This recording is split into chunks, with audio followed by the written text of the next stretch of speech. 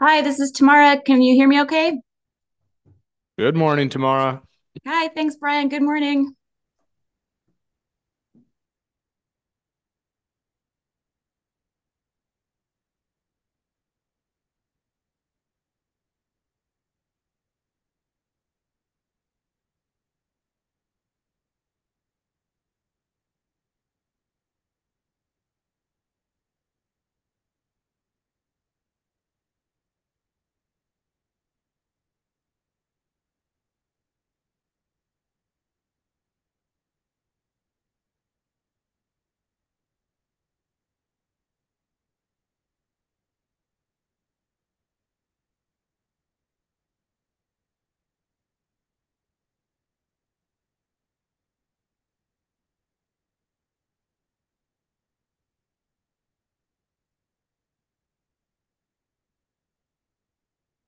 Good morning.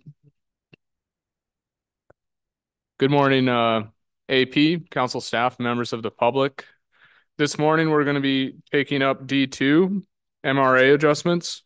Uh, before we get started, I just want to remind everyone that the minutes for uh, the rationale for um, C2 salmon bycatch is, is going out. And if we could have those approved in the next like 10, 15 minutes, it would be, it's pretty important because we're going to be delivering the report on that very soon. Um, with that, also a reminder to everyone that it is Nicole's birthday, I'm told.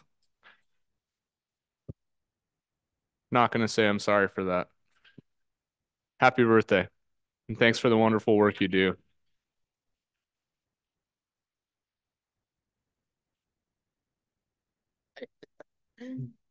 Uh,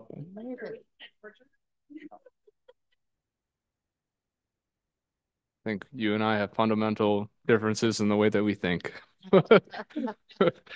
um, with that, I think we'll take our staff presentations on on D2. Welcome. Good morning. Good morning, members of the AP and chair. Uh, Nicole Watson, council staff. Just to clarify, it is not my birthday. It is the other Nicole's birthday. I am joined today by Krista Milani with NMFS. Uh, in October 2023, the council passed a motion to support NMFS in their presentation of a discussion paper to inform potential adjustments to the maximum retainable amount of species closed to directed fishing while the vessel operator is engaged in fishing for species or species groups that are open to directed fishing. The intent of this discussion paper was to provide the council with information about how the MRA regulations could be modified to reflect current practices, to give an overview of industry proposed regulatory changes, and to provide possible regulatory changes that could be assessed. After reviewing the discussion paper and listening to public testimony, the council's task is to determine whether to move forward by developing a purpose and need statement or alternatives for analysis regarding MRAs. And with that, I will turn it over to Krista. Good morning, um, members of the AP, Mr. Chair. My name is Krista Milani. I work for the National Marine Fisheries Service Sustainable Fisheries Division, and I'm part of the in-season management team. And this presentation is on D2, maximum retainable amounts. This first slide is just to give you a roadmap of how the presentation is going to be laid out, as well as the way that the discussion paper is laid out.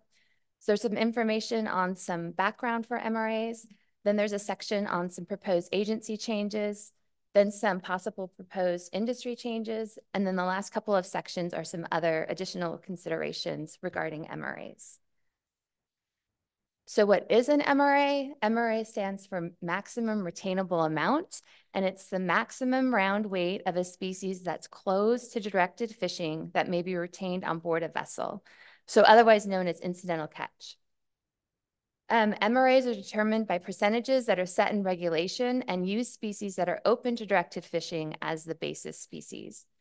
I want to stress that MRAs only um, regulate groundfish species and species that are regulated under the PSC regulations, such as halibut, salmon, herring, and um, crab are not um, subject to MRAs. Those are regulated through PSC.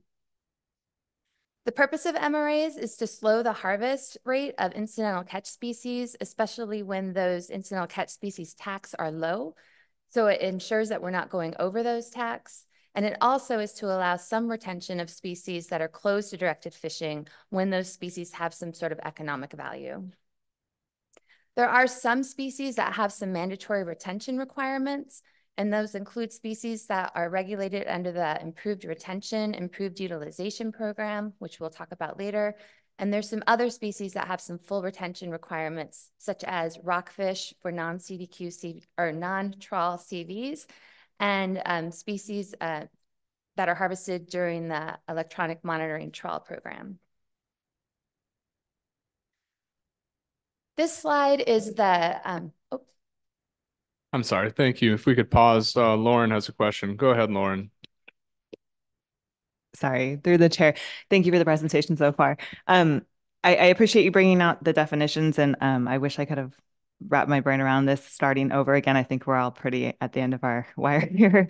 Um, so I just, I have a question, something that I've been grappling with as I'm thinking about this. And so there's, there's a difference in regulation between incidental catch and bycatch limp, and that basically that, that defining factor is the PSC designation. Uh, yeah, so you you can refer to anything as bycatch. So even a groundfish species you could refer to as bycatch.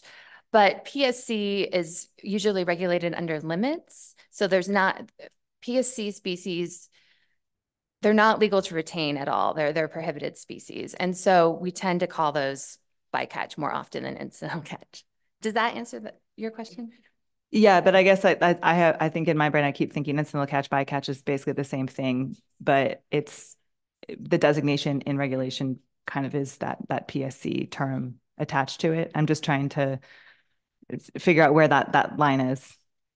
Because an incidental catch kind of is a bycatch. right. through the chair. I don't I don't know that the semantics really matter that much in regulation versus, you know, for incidental catch versus bycatch. I, I guess in relation to MSA. In relation to the MSA, um, National Standard Nine specifically. yeah, if it's if it's retained, it well, sorry, I'm listening to Julie. Um, I I'm sorry, I don't I'm not sure on the answer to your question regarding the MSA. Thank you. Do we have any other questions while we're paused?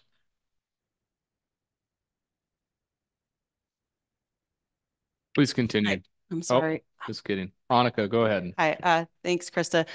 I guess when I'm thinking about incidental catch, I'm thinking about catch that is, um, catch that is unavoidable. So it, it's, it's catch that is brought up kind of when directed fishing for something else. And so the purpose of the MRA regulations is to allow for some of that incidental catch to be kept. Whereas when I think of bycatch, I think of it as PSC species or something that is meant to be avoided to the extent practicable by groundfish fisheries. Is that kind of a better explanation of the difference? Uh, through the chair, Annika, um, Nicole's helped me out here and it, um, under the MSA, bycatch is defined as fish that are harvested in a fishery that are not sold or kept for personal use and include both economic and regulatory discards. So I guess that means under the MSA, bycatch would be for species that are not kept for personal use. So Annika, you're correct. Species that are incidental catch species or species that you can retain and um, that are actually kept. Okay, thank you. I Yeah. think that's helpful. Lauren did that. Okay.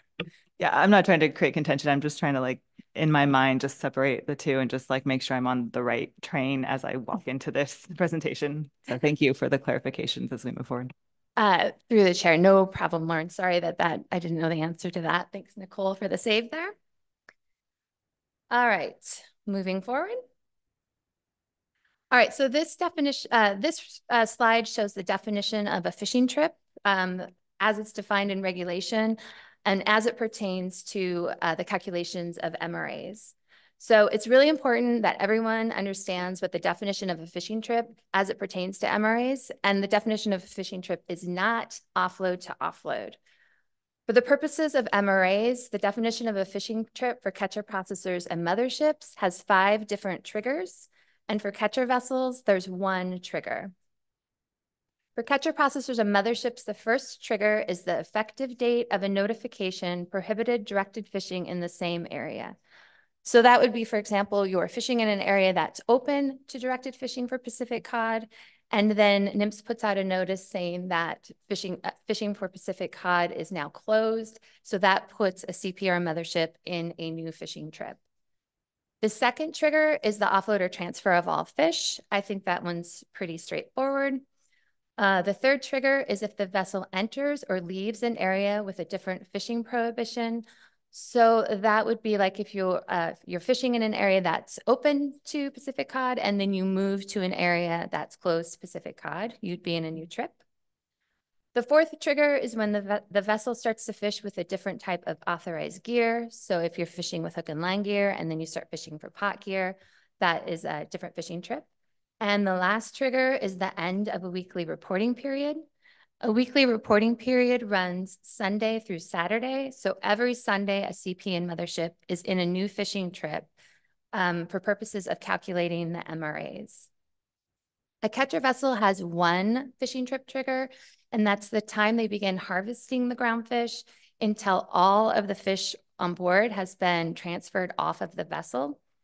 So usually catcher vessels are offloading their entire catch um, when they come into a port or to a tender, but sometimes those vessels um, still have fish on board and do a partial offload and they go back out fishing with fish still on board and that does not end a fishing trip for the purposes of a catcher vessel. Um, instead, the trip is ended once their holds are empty.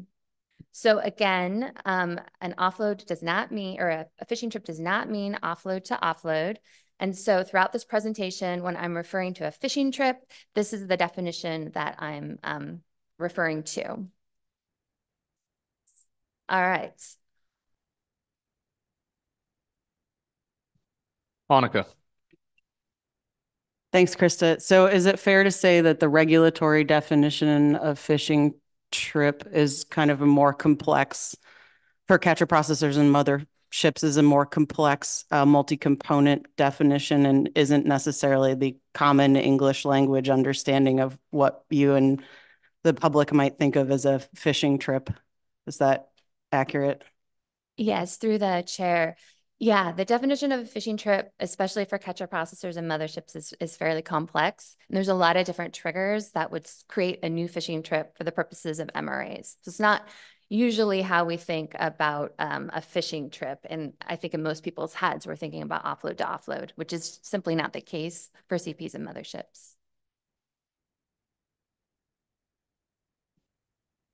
Okay, I'm going to go through some agency recommended revisions to MRAs. Um, NMFS has identified regulations regarding MRAs and improved retention, improved utilization, or IRIU that need some modifying. And there's a couple of different reasons that we believe they need modifying. Um, the first is for clarity. So some of the regulations are a little bit unclear exactly how those calculations and how MRA should be applied to certain vessels. So we would like to um, make some changes there. Um, the second is to correctly reflect past actions that the council has taken um, and that have occurred in the MSA. And the last is to correct some citations that were not right um, in the regulations. I want to stress that none of the modifications that the agency is recommending to revise um, would change the way that MRAs are currently operating. So if all of these were implemented, the MRAs, uh, the way the industry is calculating their MRAs would remain exactly the same. There are three uh, parts to the MRA regulations that we believe need revisions. One is the definition of a fishing trip, which you just saw on the last slide. Uh, the second part is the calculation of MRAs, um, and that would be like, how do you use the percent tables? um, what is included as a basis species. And the third uh, part is the application of MRAs, and that's how MRAs would be applied to different vessel sectors. So we're just gonna jump right into the first one. Um, uh, NMFS has identified one issue under the definition of a fishing trip that we believe could use some clarity, and that involves catcher vessels delivering unsorted cod ends to motherships. Motherships have the same fishing trip definition as catcher processors, but it's unclear exactly how that fishing trip definition should apply to a mothership because motherships are not actively fishing. And instead, those vessels are receiving unsorted cod ends from catcher vessels, and the mothership is doing all the sorting and discarding of that catch. So in practice, it's the mothership that's responsible for those MRA calculations. Likewise, for the definition of a catcher vessel for a fishing trip, it doesn't exclude catcher vessels that are delivering unsorted cod ends. But catcher vessels that are delivering unsorted cod ends do not have access to that catch. So that means they're unable to sort and discard their catch. If they're unable to discard their catch, then they're unable to comply with the MRA regulations. And as I stated before, it's actually in practice the motherships that are responsible for those MRAs. So we would like to um, change the definition of a fishing trip to reflect um, to reflect that. Moving on to the calculation section, NMFS has identified three issues. The first um, is involving the management program. And so management program includes things like Amendment 80, IFQ, open access. Um, often vessels are participating in multiple management programs at the same time. And currently vessels are calculating their MRAs based on each management program separately. And that's because different management programs have different fishing prohibitions. So what might be open for directed fishing for one management program might be closed to directed fishing in another management program. So we'd like to add, la add language in the calculation section, making it clear that MRA should be calculated by each management program separately. Under uh, the second issue is when CPs are also acting as motherships. The definition of a fishing trip for CPs and motherships is the same, and often they're doing both activities at the same time within a fishing trip and within the same management program. Currently, MRAs are being calculated based on CP and mothership activity combined, and we would like to add some language uh, making it clear that that is how that should be done. The third issue is involving CDQ.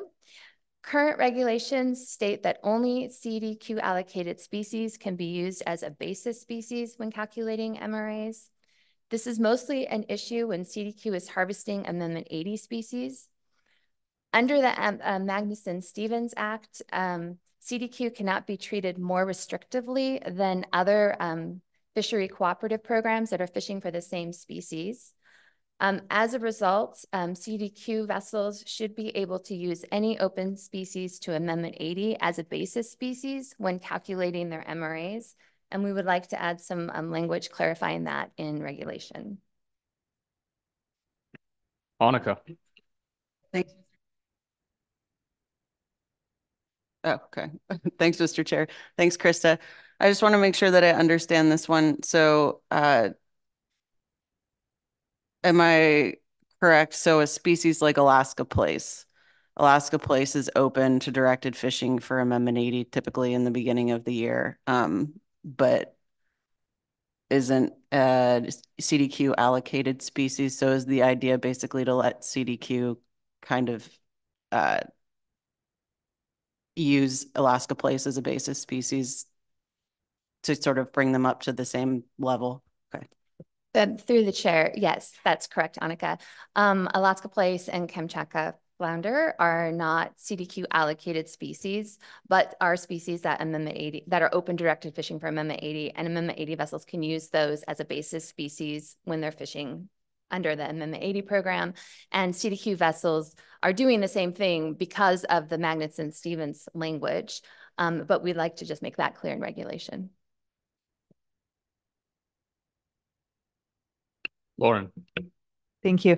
And just to clarify too, when you say a CDQ vessel, is this a vessel that is harvesting CDQ or a vessel owned by a CDQ? If you could just clarify what that means.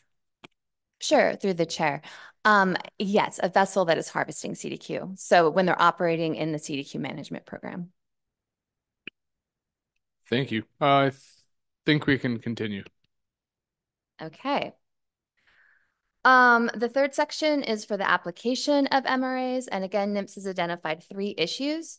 The first issue, again, is going back to those CVs delivering unsorted cod ends to motherships. I'm not going to explain uh, that issue again, but we would like to add some language in the application section of MRAs, clarifying how those MRAs are applied to motherships. The second issue involves Bering Sea Aleutian Islands pollock and Bering Sea Atka mackerel.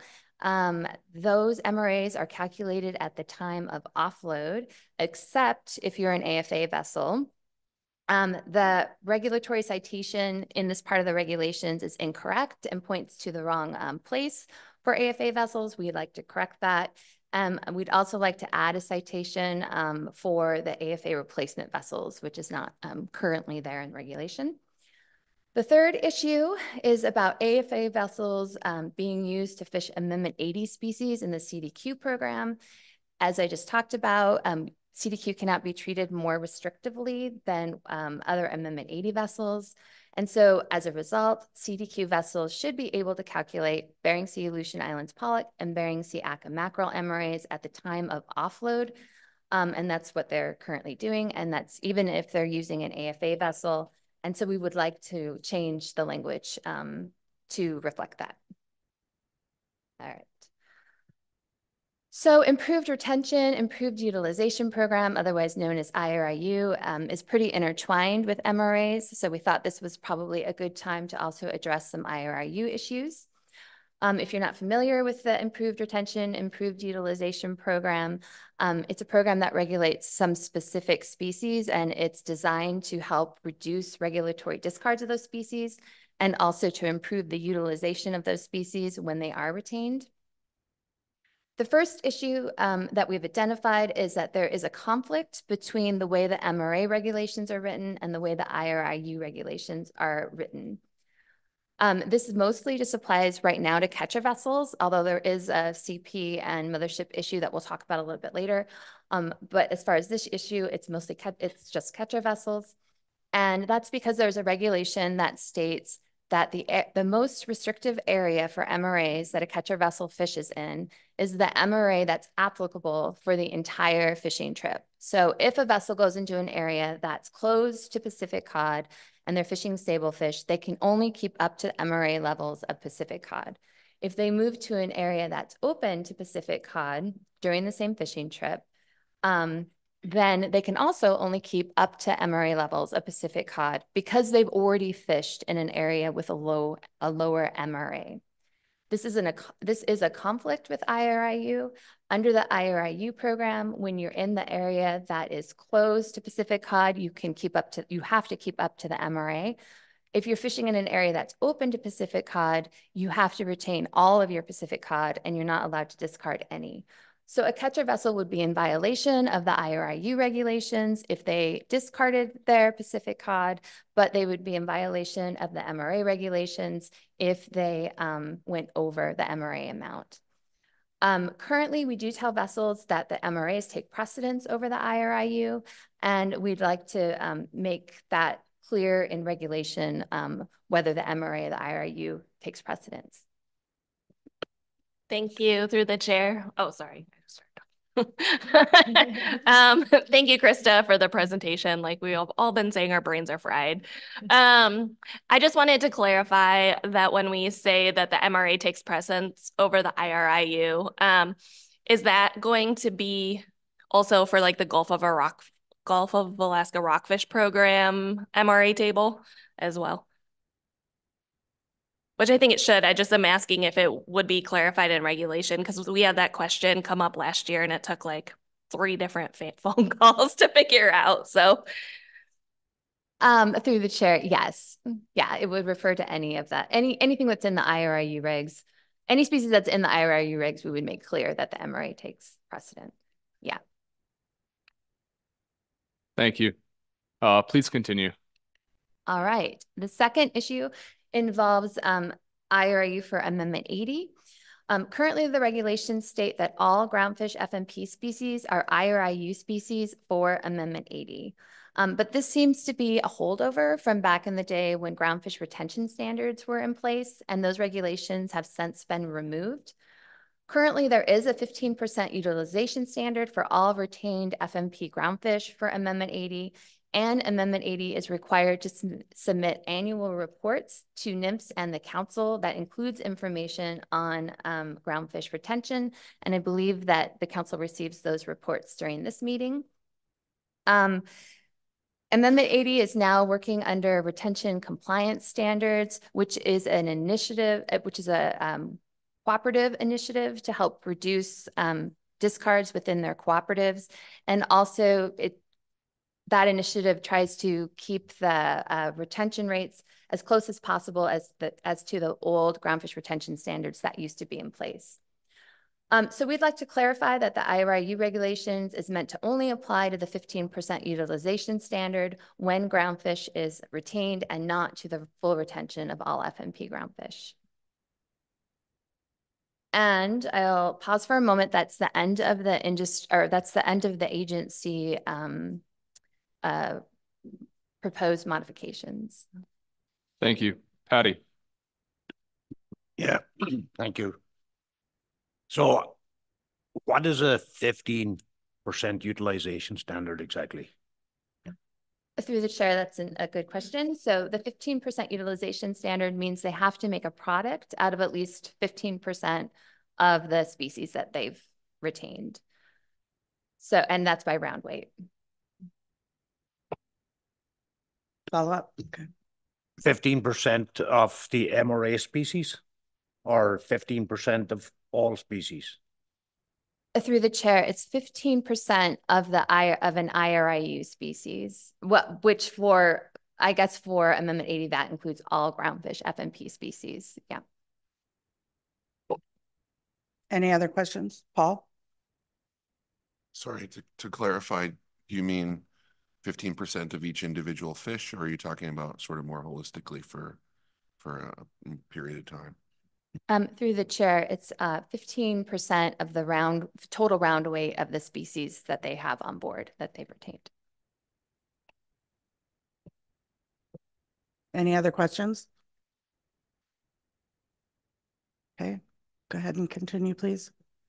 Okay, now we're going to move into some industry proposed regulatory revisions. Um, and these would change the way that MRAs are, are being calculated currently. So in October, the council received a comment letter from industry with um, some proposed regulatory revisions into the way that MRAs work. Um, we don't have alternatives yet, so we're going to call these revision one and revision two.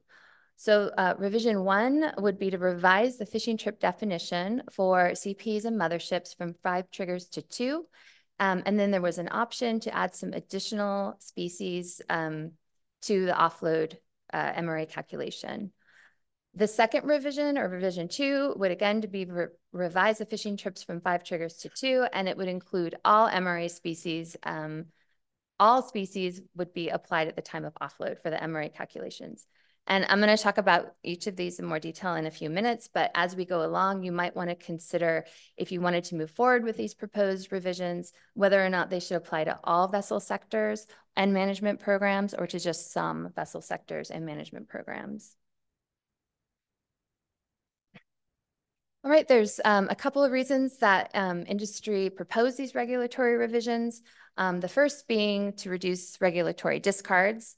Um, but the second is because calculating of MRAs um, for the duration of time at sea can be very complicated, and there's a couple of reasons for that.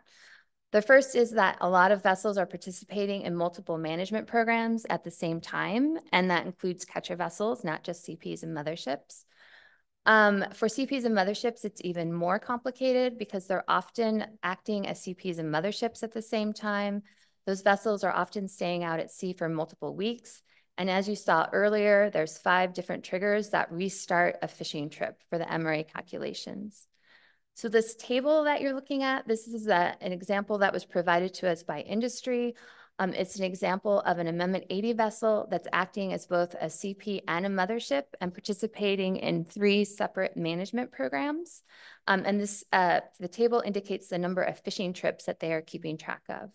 So in each row header, you can see the management programs they're participating in. So in this case, it includes Amendment 80, Open Access, and CDQ. This vessel spent 11 days total out at sea. And then I'm just going to walk you through the Amendment 80 row, um, just so you can orient your, yourselves a little bit about how the table works. So for the first day, day one, the Amendment 80, um, under the Amendment 80 program, they're fishing in an area that's open to Pacific cod and open to Atka mackerel. So they're in fishing trip number one. On day two, they move to an area that's closed to Pacific cod. And because they're moving into an area with a different fishing prohibition, it triggers a new fish, it, it figures, triggers a new fishing trip um, for the purposes of MRAs. So now they're in um, fishing trip number two. On day three, they move back to the other area they were already in. They can add that on to fishing trip number one. But day three is also Saturday, which is the end of a weekly reporting period, which means on day four, Sunday, they're automatically in a new fishing trip. So that's fishing trip number three. Then during that week, day four to day 10, they're moving in and out of closed areas, and that creates one additional fishing trip for fishing trip number four. Day 10 is Saturday, again, the end of um, a weekly reporting period. So on day 11, on Sunday, they're automatically in fishing trip number five. So they're doing this for each management program that they are participating in. So they have uh, five trips for Amendment 80, uh, three fishing trips for open access, and four fishing trips for CDQ for a total of 12 fishing trips for their 11 days at sea. So this isn't the only thing they're keeping track of. They also have to keep track of all the basis species within each of those fishing trips. And they have to calculate the MRAs for every incidental species that they are catching, which could be uh, quite a few. In addition, most MRAs are instantaneous. So that means at no point in time can they be over the MRA during that fishing trip. So for every single haul, they have to ensure that they're not over those instantaneous MRAs. And then on top of that, um, Bering Sea Aleutian Islands pollock and Bering Sea Atka mackerel are, um, the MRAs are calculated at the time of the offload. And so those two species have to be um, calculated and have to be kept track of separately from the rest of these to ensure that they're not over the MRA at the time of the offload. So you can see how this very quickly can get very, very complicated. And there's a lot of room in here for um, vessels to uh, make little errors in the way they're doing the calculations. All right, so a little more detail about the proposed revisions. So a revision one would uh, redefine the fishing trip for CPs and motherships from five to two triggers. The proposed triggers to remain would be the offload of all product, and um, the use of a different gear type. That means for CPs and motherships, the triggers that um, would go that would be eliminated would include um, the end of a weekly reporting period, um, when the vessel enters an area with a different fishing trip prohibition, or if there's a notification of a different um, if there's a notification of a different fishing prohibition in the same area where the vessel already is. Under this revision, the instantaneous MRAs would remain in place. Um, but also under this revision, it would provide opportunity for vessels to potentially target a species that is closed to directed fishing in a closed area. And I'll talk about that in more detail a little bit later. Revision 1A was to add some additional species to the offload calculation. Um, it was proposed to add the other IRIU species to the offload calculation because the offload calculation um, typically results in less discarding. And part of the uh, purpose of the IRIU program is to reduce discards.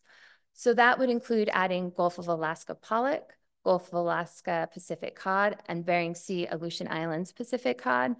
But the AP might want to also consider adding Gulf of Alaska shallow water flatfish because that's also an IRIU species, but it wasn't in the original um, comment letter. It's also proposed to add Central Gulf of Alaska rockfish program to an offload calculation, and that one is currently being done at the end of each weekly reporting period. Um, moving it to an offload calculation would put it more in line with how we're doing other species. So when a MRA is being calculated at the time of offload, that means there's no longer an instantaneous MRA for that species. They just need to be under the MRA whenever they offload. Um, this could result in more MRA overages if a vessel returns to port unexpectedly, and we'll talk about that a little bit more um, here in a bit. Um, and it would also likely lower regulatory disc discards of these specific species, and we'll talk about that a little bit later as well. Lauren. Thank you so much for the presentation um, through the chair.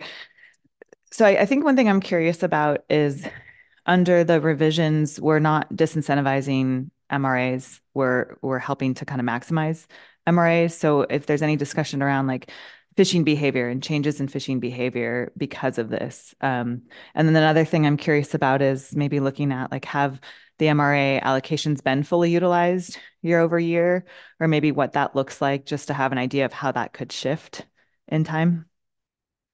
Uh, Through the chair, yeah, those are excellent questions. And um, that's something that was not fully looked at since this is just a discussion paper. But I think if this moved forward into an analysis, those are things we would definitely want to look at in more detail. Thank you. Any other questions? Please continue.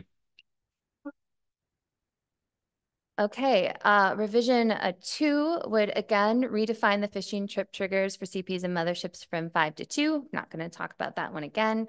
And it would also calculate all MRAs at the time of offload for all species. So that means that there would not be any instantaneous MRAs for any species anymore. Under this revision, all species would be treated the same. So there might be less confusion on how to calculate your MRAs. Um, but it may also result in more MRA overages if the vessel returns to port um, unexpectedly. Um, this revision would also likely result in the least amount of regulatory discards. And again, we'll, I'll talk about those last two issues in a, in a few minutes. Thanks, Mr. Chair. Thanks, Krista. I guess on the previous slide. Okay, um, so I understand that this is the way that it was presented by industry, which was to put these two things together. Um, but I guess my question is, is does it make sense to also separate these out into two kind of different mutually exclusive issues? So separating out kind of redefine, redefining fishing trip for CPs and motherships into kind of one issue. And then separately looking at sort of calculating all MRAs, moving to offload to offload. Um, and looking at that separately. So I guess is, am I thinking about that correctly, that we could basically separate those two things? Thanks. Yes, through the chair. Yeah, the discussion paper and this presentation is just laid out the way that the original industry comment letter was presented. Um, but it certainly makes um, sense to uh, separate out the redefining the fishing trip definitions separately from the changing species to an offload calculation. Yeah. Thanks. Just one more question. Sorry. Um, and, and I guess also uh, is one of the reasons for that because the redefining the fishing trip is specific to CPs and motherships. And then the second piece of this, which is thinking about changing the MRA accounting, that would be applicable to more sectors than just CPs and motherships. Is that correct? Through the chair. Yeah, I think that's a good way to look at it. The um, the redefining of the fishing trip would just be for CPs and motherships. And the way that the industry co uh, comment letter was um, outlined, the changing the calculation of MRAs to an offload could apply to any sector, including catcher vessels. All right. Okay, so um, if these revisions were put in place, um, either of the revisions were put in place, it would reduce the number of fishing trip calculations for CPs and motherships. Um, it would make it easier for industry to calculate um, their MRAs and hopefully less error prone. Um, we also have our Office of Law Enforcement who is having to calculate all these MRAs as well. Um, and although um, they are able to do that, it would be easier um, under this under these revisions. Um, this table is just the same example that we saw earlier. Under either of these revisions, you can see that each of the management programs would only have one fishing trip for their 11 days at sea. Um, under revision one, they'd still be responsible for um, instantaneous MRAs. Under revision two, the MRAs would be calculated at the time of offload. So they would just make sure that they were not over those MRAs at the time of offload. Either one of the industry revisions would likely reduce uh, regulatory discards, um, but also either of the revisions would provide opportunity for vessels to target a species that's closed to directed fishing in a closed area. And we'll talk about that in a little bit. There is one IRIU consideration um, that comes up as a result of these revisions. So if you think back when I was talking about in the agency section, how for a catcher vessel, the most restrictive MRA for the area that they fished is the MRA that is applicable for the duration of the fishing trip. So this regulation also exists for motherships and CPs. Um, however, it's not currently an issue because when the vessel is entering an area with a new fishing, a different fishing prohibition, the fishing trip is starting over. Should this regulation remain in place while one of these industry proposed revisions is also um, initiated, then we would also uh, create that conflict between which one takes precedence, um, the MRA regulations or the IRIU regulations. Um, we currently tell CVs that the MRA regulations take precedence over IRU, and if that was the case here, then it would likely be very limiting for catcher processors and it would likely increase regulatory discards. So the AP might want to consider whether or not it's appropriate for that regulation to remain in place or if that regulation should be changed as well. All right, uh, moving on to unforeseen issues uh, that requires a vessel to return to port. This is one of the things the council asked us to look at in um, their motion. There's a couple of different reasons why a vessel might return um, to port unexpectedly. That includes a medical emergency, and a, mechanical emergency, or um, bad weather.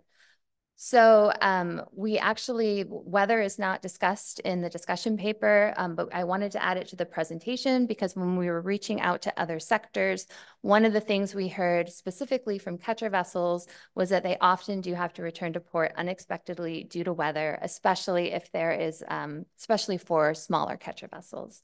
So the AP might want to consider um, weather as one of the reasons um, that vessels return. So there's um, two different kinds of MRA overages that can occur when a vessel returns to port unexpectedly. The first is the vessel could be over the MRA of a species that's calculated at the time of the offload. Um, if the vessel returns to port and offloads any of their fish or fish product, then they would be in violation of this MRA regulation. Um, but of course, most vessels want to offload when they come into port, even if it's unexpectedly, because it's economically more sound to return out to the grounds with empty holds. Um, the other kind of MRA overage that can occur is they could be over an instantaneous MRA. But being over an instantaneous MRA is always a violation because at no point during uh, the fishing trip is a vessel allowed to be over the MRA. Under any of the revisions that would add more species to an offload calculation, this issue would likely be um, exasperated. The AP might want to consider some regulatory relief for when these unexpected situations arise. But if the AP wants to do that, you should, you should consider what actually constitutes an emergency. If there's any amount over the MRA that's actually acceptable under this, these situa situations, and um, whether or not catch from that trip should be rolled into the next trip for the MRA calculations or any other solutions that the AP wants to come up with. Thank you. If we could pause briefly, we have a question online from Julie Kavanaugh. Julie, go ahead. Yeah, thank you through the chair. I was um, maybe just needing some clarification between the two bullet points under issue where vessel may be over MRA of species calculated at offload versus the one below it, they, um, I guess, currently wouldn't just the last bullet be um, I mean, I don't understand the difference between the two because right now we don't have like an MRA based on what you might have might have brought in if you didn't come in at that point. Uh, just, the, okay, go ahead. All right, through the uh, chair, um, Ms. Kavanaugh. Um, so the first bullet is, so there are some species that are currently being calculated at the time of offload. So that includes Bering Sea, Aleutian Islands pollock, and Bering Sea Atka mackerel. And so um, while you're out fishing for those species, you can be over the instantaneous MRA for those species at that point in time, as long as the vessel feels confident they're going to get enough basis species before they offload so that when they offload, they're not over the MRA. Um, so if a, if a vessel comes into port unexpectedly, then they might have fished those species early on in their trip, expecting that they're going to stay out at sea for an additional 10 days um, and accumulate more basis species. Um, and they might think that they're going to be under the MRA as long as they're able to stay out at sea as long as they had, uh, had originally expected. The second bullet point is for instantaneous MRA. So all other species are calculated on an instantaneous MRA, which means at no point in time, at no, no minute of your um, fishing trip, can you be over that MRA? So you should never be over that MRA ever. So that's that's the difference in the clarification between the two. And I um, let me know if that's still confusing. Yep, no, that's helpful because because I don't um, do mackerel or pollock, I wasn't aware that they were. I think it's in the paper, but I didn't retain that information that they are calculated at offload. So that makes sense why the two are separated. So there would be information available on those two species that are calculated at offload as to like how often um, return to port or to a mothership happened and caused um, a, a problem with being over? Through the chair, uh, yes. Um, and that's something, if this moves forward to an analysis, that we could look at um, closer based on the species that are already um, calculated at the time of offload. Thank you. And, and another question, if I may, um, Mr. Chair. Go ahead. Yeah, so when you spoke to the pollock and mackerel, you um, you said that it's possible that a vessel may have went out to get their uh, maximum ICA of the MRA and then ended up coming in early for some unknown reason. Um, if if if all species were calculated at offload, would we expect that front loading of these um, MRA species potentially?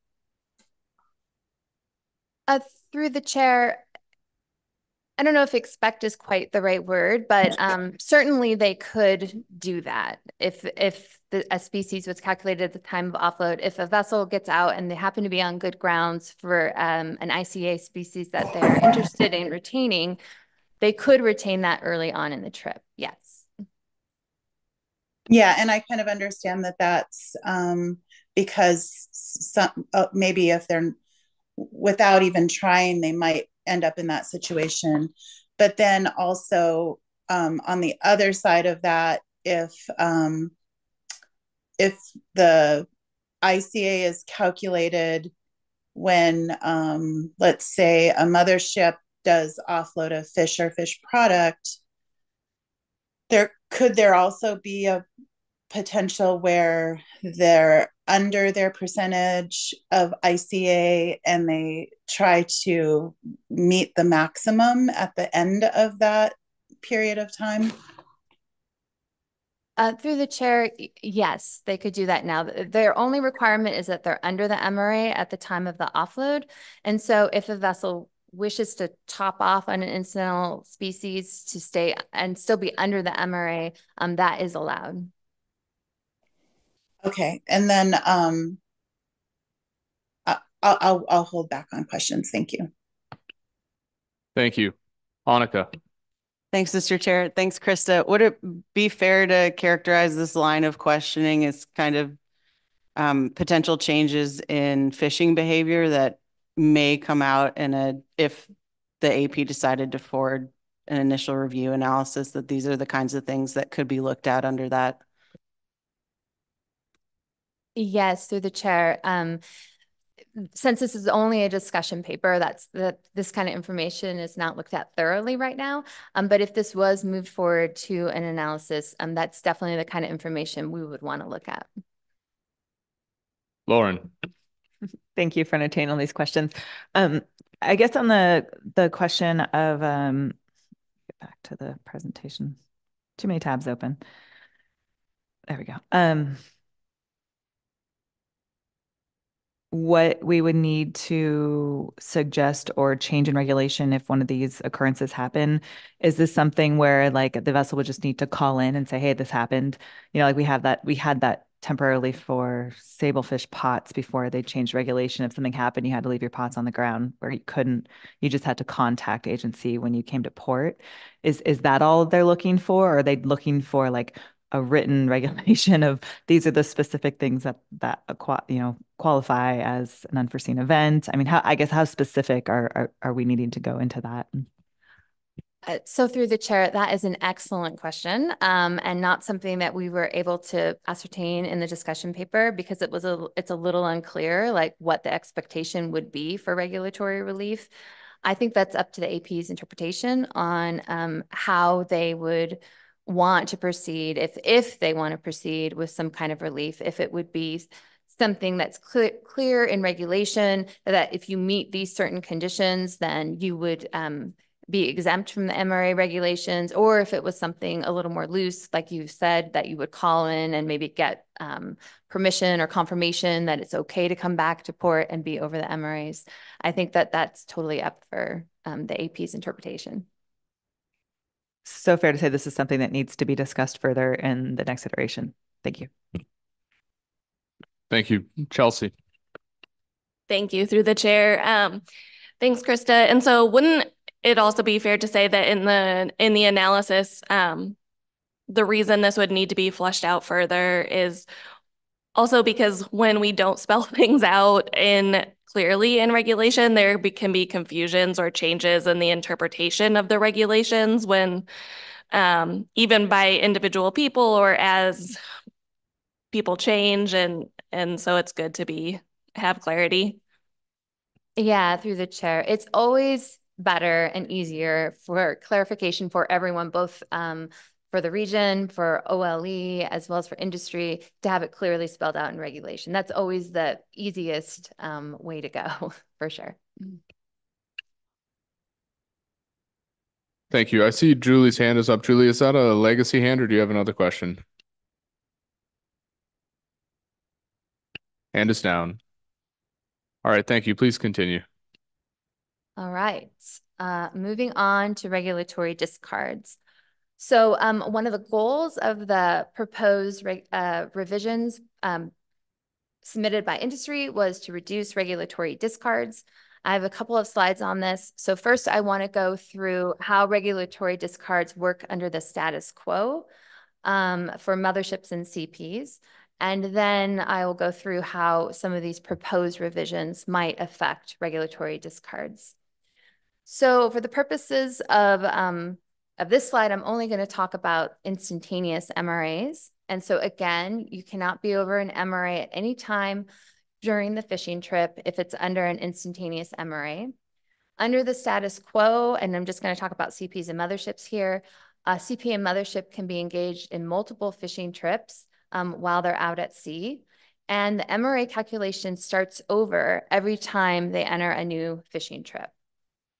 So I'm going to use an example here just to illustrate how that works. So imagine that there's a CP hook and line vessel who's fishing for Pacific cod in the Bering Sea Aleutian Islands, and that vessel is fishing for two weekly reporting periods. On day one, week one, that vessel harvests 10 metric tons of Pacific cod and five metric tons of skates and the MRA for skates is 20%. Under this situation, the vessel can only retain two metric tons of skates and has to discard three metric tons of skates. Otherwise, they'll be over the instantaneous MRA because they only have 10 metric tons of a basis species on board at that, at that time. On day one, week two, the vessel has 100 metric tons of Pacific cod and three metric tons of skates on board from the previous week. But now, because we're in a new weekly reporting period, a new fishing trip has been triggered, so the MRA calculations are starting over.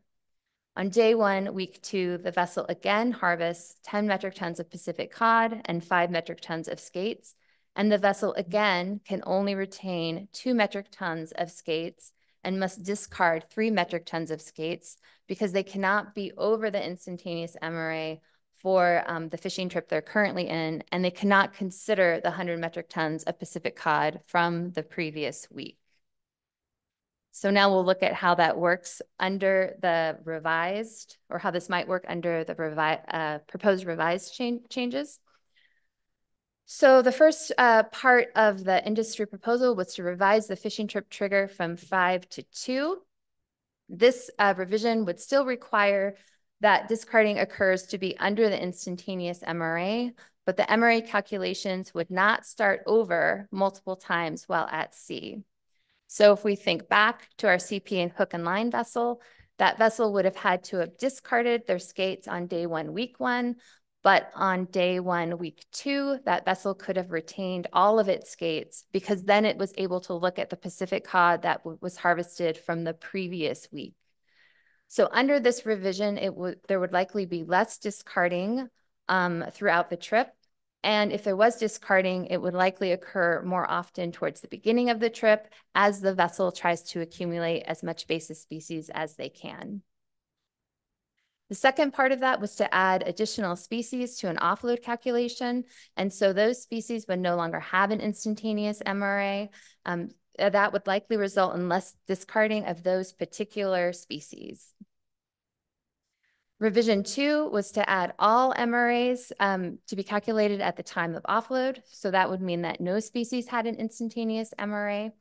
So if we think back to our CP hook and line vessel, that vessel could have retained all of their skates on day one, week one, and all of their skates on day one, week two. Um, and that's that's because as long as the vessel had confidence that they were going to have enough basis species by the time they offloaded to cover those skates, then they could keep those skates. Um, this revision would likely result in the less, the least amount of regulatory discarding, especially for high value species. There's a few other considerations that you should think about when, you, when we're talking about regulatory discards. There are some species that have some mandatory retention rules, um, but most species do not. So in order for regulatory discards to be reduced, a vessel actually has to want to retain those species.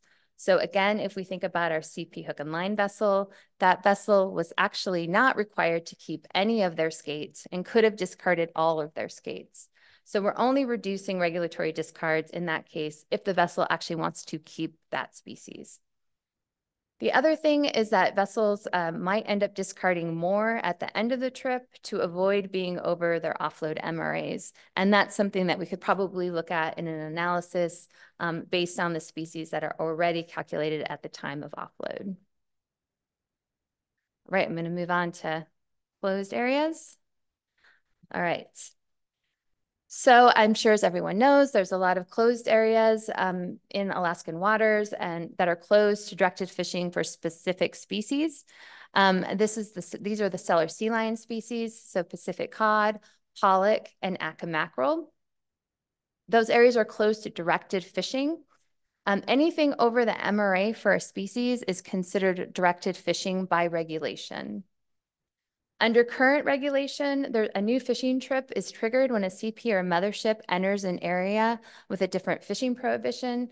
And um, that's, that regulation is in place in part to, um, to uh, supply less opportunity for a vessel to target a species that's close to directed fishing within the closed area. If you remove that trip trigger um, for for a new trip when a vessel enters a, a closed area, then that would give a vessel an opportunity to target a species that's closed to directed fishing within that closed area. And that's because the MRA cal calculation would be based on the amount on board for the entire time the vessel was at sea. So as long as the vessel was within their instantaneous MRA under uh, the proposed revision one, or um, under the MRA at the time of offload um, in revision number two, um, the vessel would not be considered having directed fished in the closed area and it would not be a violation. The Office of Law Enforcement has expressed some concern about the ability to enforce closed areas under these circumstances. And I just want to give some a little bit of context on a past action that has taken place um, at the council. So Bering Sea Aleutian Islands pollock was moved to an offload calculation. Um, I think it was in 2004. In 2006, the council saw a very similar action to this um, regarding adding some additional species to an offload calculation. At that time, the council also was concerned about the opportunities of a vessel uh, uh, targeting species inside closed areas. Um, the council did um, pass that motion, but they did amend it to read that a species would be calculated at the time of offload unless the vessel entered a closed area, um, and then that would still trigger a new fishing trip. Uh, NMFS uh, published a proposed rule, um, but received a lot of feedback from industry stating that um, keeping that trip trigger, trip trigger when they enter a closed area would um, not meet the goal of reducing regulatory discards and would be costly to participants. So in the end, NMFS ended up withdrawing that proposed rule and those regulations never went into effect. Um, several years later, I believe around uh, 2014, um, Bering Sea Atka mackerel was, was actually added to a offload calculation. So that's just some of the background um, regarding that, uh, regarding closed areas.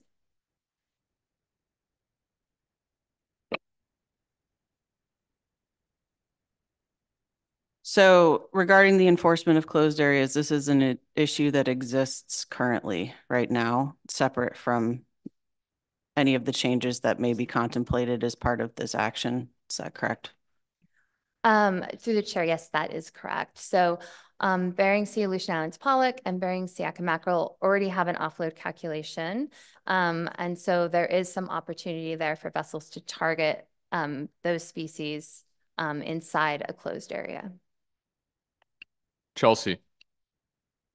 Thank you through the chair. I'm just wondering, I get that it wouldn't, it doesn't currently exist in regulation, but why couldn't observer data be used to determine whether a vessel was targeting, especially since like CPs are carrying two observers? Through the chair, it's a very good question. Um, I think it's important to understand the difference between directed fishing, which is a regulatory term and defined in regulation.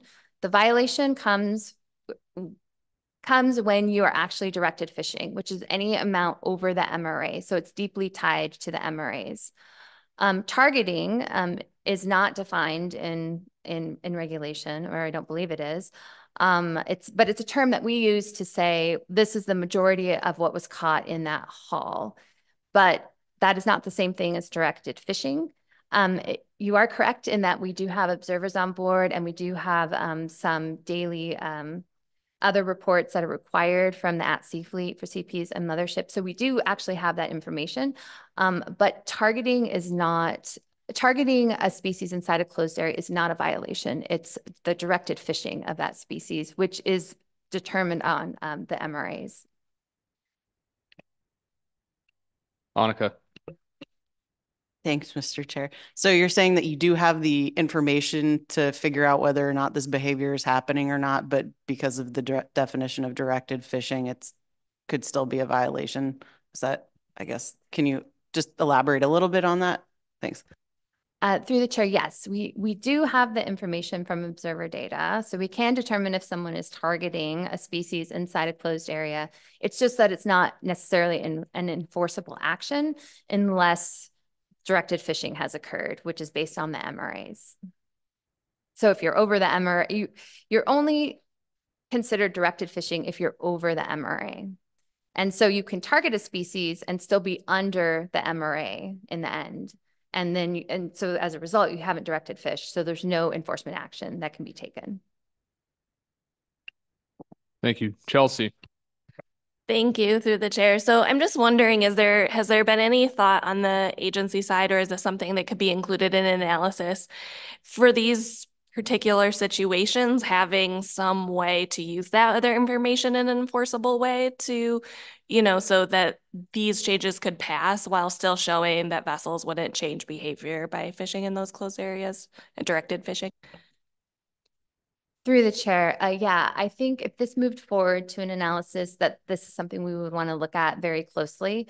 Um, and that's one of the things we could look at. And then if, um, you know, if the AP and, and the council wants to prohibit targeting inside these closed areas, then that's something that could definitely be looked at in an analysis or through any kind of motion.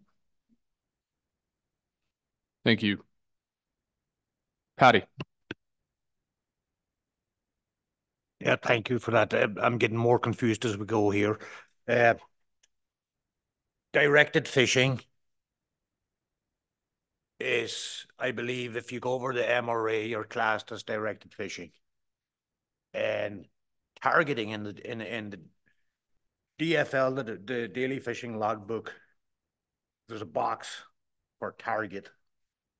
And years ago, I put down code 710 for sablefish. It was an MRA species, and enforcement told me that that was not allowed because you're not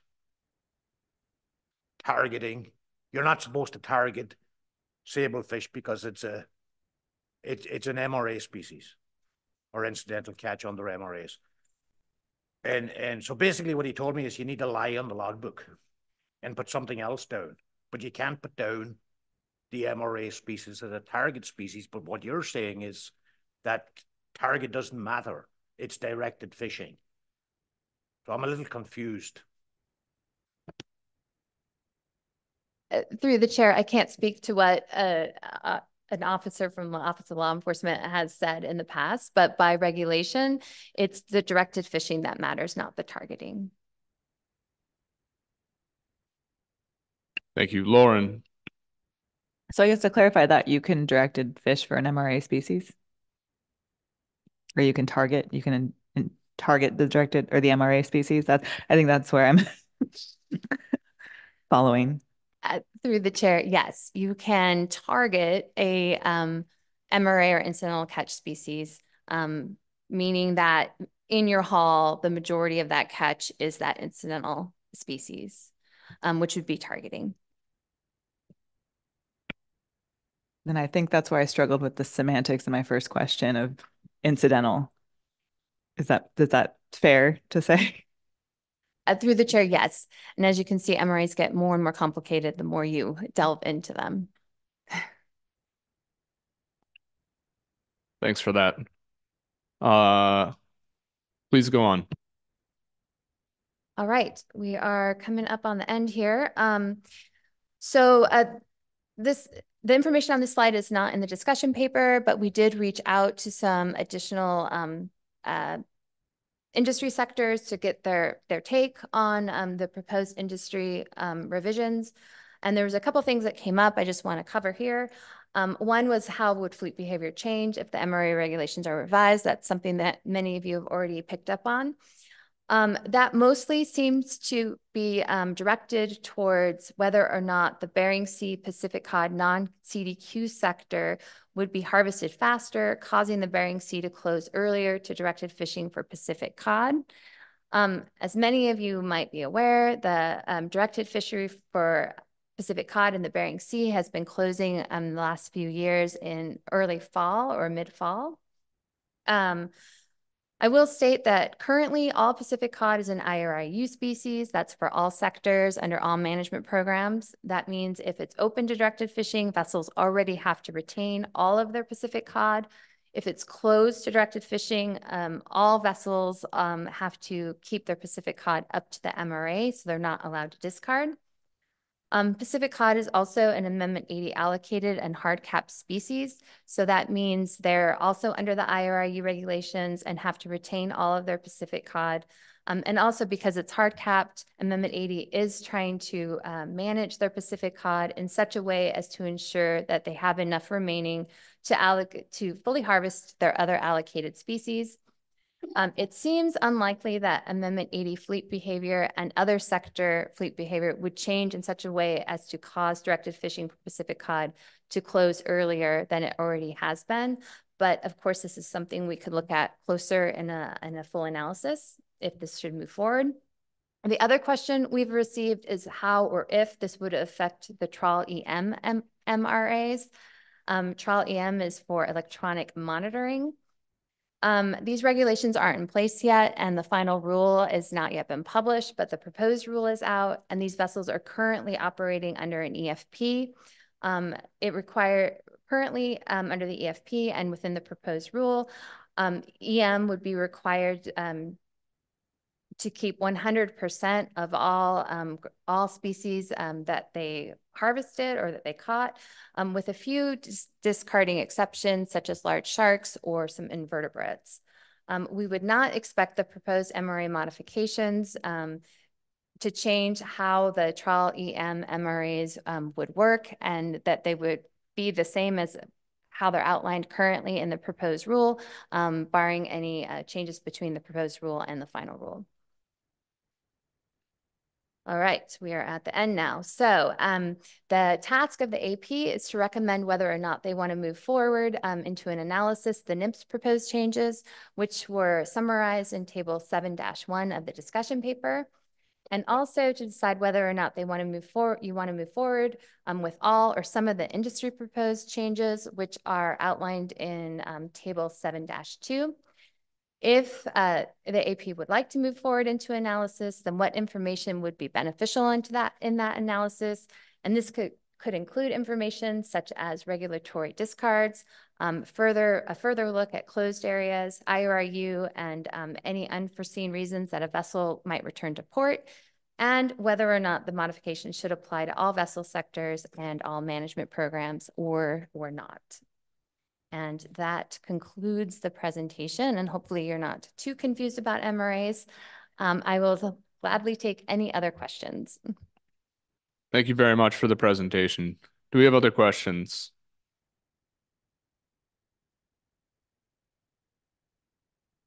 Shannon, go ahead.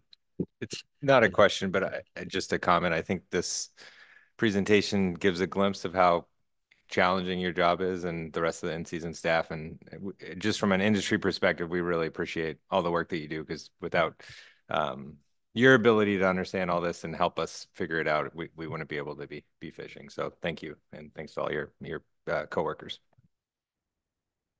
Thank you. Not seeing any other questions. Um, thank you very much for the presentation. Uh, up next, I think we'll go right into public testimony. Uh, following public testimony, we'll take a break before we take a motion. Um, up first, we have Chad See. Following Mr. See, we'll have Julie Bonney. There are only three people signed up for public testimony at this time. Welcome. Thank you, Chair, uh, members of the AP. I will get through this as quickly as possible. Uh, my name is Chad See. I'm the Executive Director of the Freezer Longline Coalition. I'm commenting in regards to agenda item D2 here today, examining possible adjustments to groundfish MRAs. FLC also submitted written comments on this action, so I will be summarizing the key points from our letter. FLC supports moving this discussion paper forward for initial review. This action will facilitate needed con consideration of measures developed by NMFS and industry to simplify MRA calculations and minimize discards of MRA species. In moving this forward, we ask the AP incorporate considerations into the analysis to consider to address potential impacts of MRA changes to the directed Bering Sea cod harvest and to the calculation and amount of hook and line CP MRAs for skates.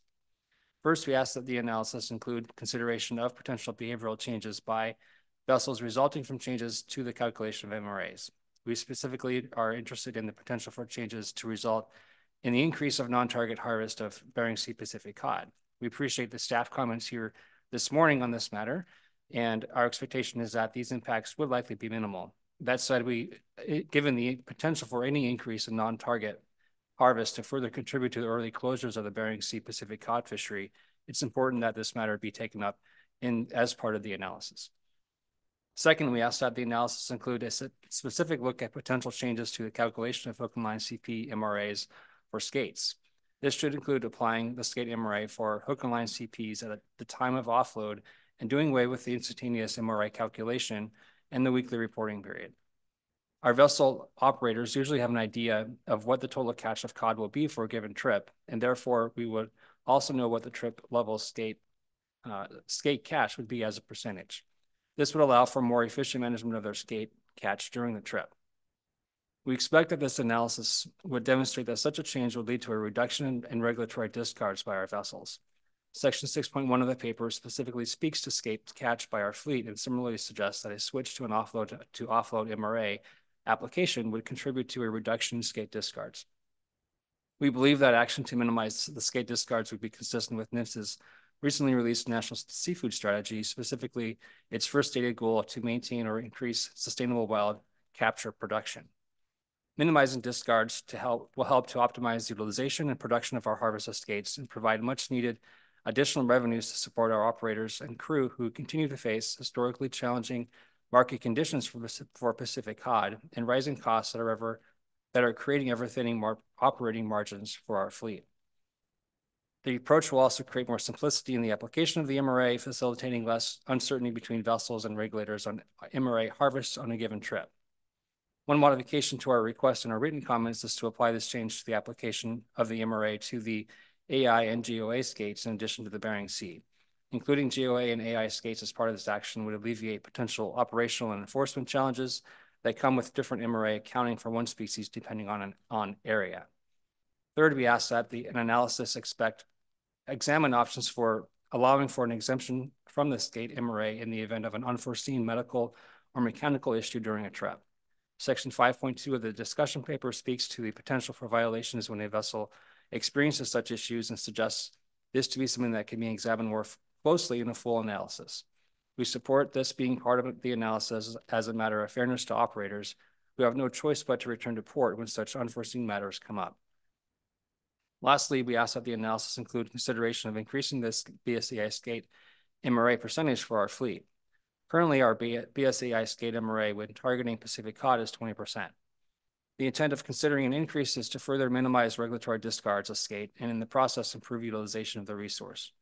Recently, FLC members have been experiencing increased market demand for smaller skates in addition to the traditional market for larger skates. This creates the opportunity for our vessels to generate additional revenue through increased retention of encountered skates. We would not anticipate an increase to the, in the MRA to markedly impact fleet behavior on the harvester skates or alone an increase to the overall harvest of the stock. As we look at efforts to minimize discards of MRA species, we believe it's an appropriate time to examine a change in the MRA percentage as part of this action. With that said, given the potential complexities of looking at that kind of change, we wouldn't be amenable to taking this matter up in a separate action. Thanks for your consideration. Thank you, Mr. See. It looks like we have a question for you from Chelsea. Chelsea, go ahead. Thank you through the chair. Thanks, Chad, for your testimony. I was just wondering if you had a specific range for increasing the Bering Sea skate um, MRA or if you were just open to um, a, a look at a range. Sure. Uh, thanks, Chelsea, through the chair. In our comment letter, we suggested a range of up to 30% from 20%. I think we're pretty open to looking at that, though, in a discussion paper. That was uh, something we put in for, for discussion itself. So um, we're amenable to that. Thank you. Does the AP have Paul? Go ahead. Through the chair, thanks for your testimony, Chad. I was just uh, um, uh, wanted to get a sort of a little bit better idea of of sort of the decision making that's going on while it, while the boats are at sea. So you said that there's there's there's historical markets for larger skates, and then there's some markets for for that are are uh, coming open for smaller skates, and um, sort of on a obviously there's a, um, a there's clearly a, a limitation on the sort of overall number of skates that you can keep based on the MRAs, but um, what what decisions go into whether a vessel keeps certain skates? Is it based on certain species of skates? Is it based on on the size? Is it based on um, some something else? I guess. So, just wondering if you can sort of elaborate on that because it it sounds like you're not planning, e even if the MRA was removed completely, the the intent wouldn't be to sort of start targeting skates and keeping 100% of skates. There's still some level of of of discard that's going to happen. So I was wondering if you can sort of talk about that a little bit. Sure, uh, Paul, through the chair. Uh, the, my understanding, uh, it'd be a great question for a, a fisherman um, who's out there uh, doing this right now. But um, my my understanding is that traditionally it's been by size uh, on the skates, and and so there's been the markets for the larger skates, and those have been uh, kept more. I think as was noted in the in our in the staff presentation, there's no requirement for just for us to keep or discard any of those skates, um, uh, but up to that MRA amount. Um, but the, usually it's been by size. Um, but of late, there's been uh, been uh, more of that market for the smaller skates. So there's been a more uh, some decision making in terms of keeping some of the smaller skates as well. Uh, and uh, my understanding from just talking with our captains on the Bering Sea side, at least, that there's been more just more encounter of the of those skates. Um, but that's something we've been looking at, uh, trying to look at some more as well in terms of whether that um, is consistent with the data. Okay, so then just to follow up, then, so so there's particular skates that you would be looking for, um, and so at the beginning of the trip, first couple of days or so, if you're encountering large numbers of those skates, the MRAs require you to to discard certain percentage of those. But um, if you're seeing the smaller numbers, uh, the larger numbers of the skates that are less desirable, then then the, um, then they're just being discarded. So um, sort of as the vessel goes through a trip, whatever it is, thir- 15, 30 days, it's sort of encountering potentially different populations of of desirable skates versus undesirable skates. So liberal, liberalizing the MRAs may sort of help with sort of that uh, randomized encounter um, situation that the boats are seeing. Would that be fair to characterize? Uh, thanks, Paul, through the chair. I think that's a fair consideration, uh, fair assessment of that, um, uh, in terms of just how they, how our captains might be viewing that, uh, when they're looking to to execute their harvest. So, Thank you. I appreciate the answers. I, I didn't see a um a captain signed up for testimony, so I thought you were maybe the best person to start with. doing the best I can. Thanks. Um, not seeing any other questions. Thank you for your testimony today. Sure. Thank you. Up next, we have Julie Bonney, and then uh, public testimony on D2 will conclude with Todd Loomis and Glenn Merrill. Good morning, Julie. Good morning. Um, members of the AP, um, this is your last day. Congratulations. Long week, but um, my name is Julie Bonney and I represent the members of Alaska Groundfish Data Bank, which are trawl catcher vessels that are home port, mostly home ported out of Kodiak and uh, um, shoreside processors. So just to be clear about what's in this package for catcher vessels, because there's a lot of discussion about CPs and motherships. For catcher vessels that are actually delivering shoreside, there's really only two elements in what is in the discussion paper as proposals that benefit the catcher vessel sector. One is the uh, uh, moving from instantaneous MRAs to offload MRAs. And if you really think about um, the reality of how that can be enforced, um, if at least it, it's very difficult um, to actually enforce an instantaneous versus an offload, especially on a trawl vessel where all the catch is going into the RSW tank. So I think from a clarity point of view, just moving to the offload is going to work a lot better for all CVs. Then the other issue that I think is beneficial is the issue of a mechanical issue in terms of coming in and you're over the MRA because you have to come back to port early. So though there's the two elements, I think, in this package that benefits the CV sector. Then moving into the issue that um, Chad had raised. Um, we have a species in the Gulf of Alaska, POP, that is problematic, hands down, in terms of the MRA. The MRA for POP is a 5% aggregate rockfish that was set in the 1990s when POP was overfished. Now POP is probably either the second or third largest biomass in the Gulf of Alaska. So you move, and so what we find is that POP and pollock are habitating together. They just had the, that's probably not the right word, but we just did the Shelikof survey debriefing from the Dyson, and they were talking about tight balls of POP and pollock together along the shelf break, and that they can't tell the difference because of the electronics, nor can fishermen. And so the only way that they could figure out what was in those tight balls was to actually do a trawl to see what the composition was. So then you move into the reality of what the fishermen are seeing. So in uh, um, the because of trawl EM, they're required to keep everything that they catch.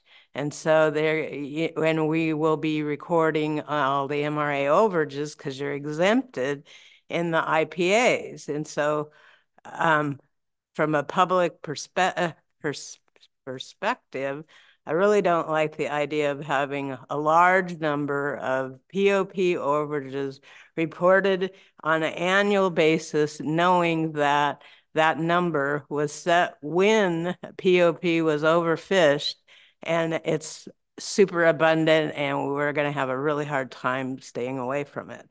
So I believe that that number needs to change. If you look at what is in the rockfish program, we use a twenty percent MRA for Pollock. I think the MRA for POP should be twenty percent as well. And just to give you an idea what a problem it is, in season actually sets aside an ICA amount for POP in the Gulf of Alaska, uh, in the Central Gulf of 3,500 tons. To, so that, because uh, normally you allocate your so to the rockfish program, which is a, a lap, but because there's so much POP on the grounds, we actually have to set aside 3,500 tons to support that catch. So going back to what this is all about, it's about regulatory discards, right? And also public perspective and what's going on in the new trawl EM program. So I'm asking that POP get a separate um, percentage, not part of, don't raise ORAC from 5% to 20%, but POP gets a separate number in the basis species and um, your MRA in terms of table 10. So hopefully that makes sense. Thank you, Mr. Chair. Thank you for your testimony. We have uh, multiple questions. First, we'll go to Julie, who's online, and then Chelsea, then Lauren. Uh, go ahead, Julie. Yeah, thank you, Brian, through the chair. Thank you, Julie, for your testimony. Can you um, give me a quick um, explanation of the the seasons um, when Pollock is open and when POP is open? Um, so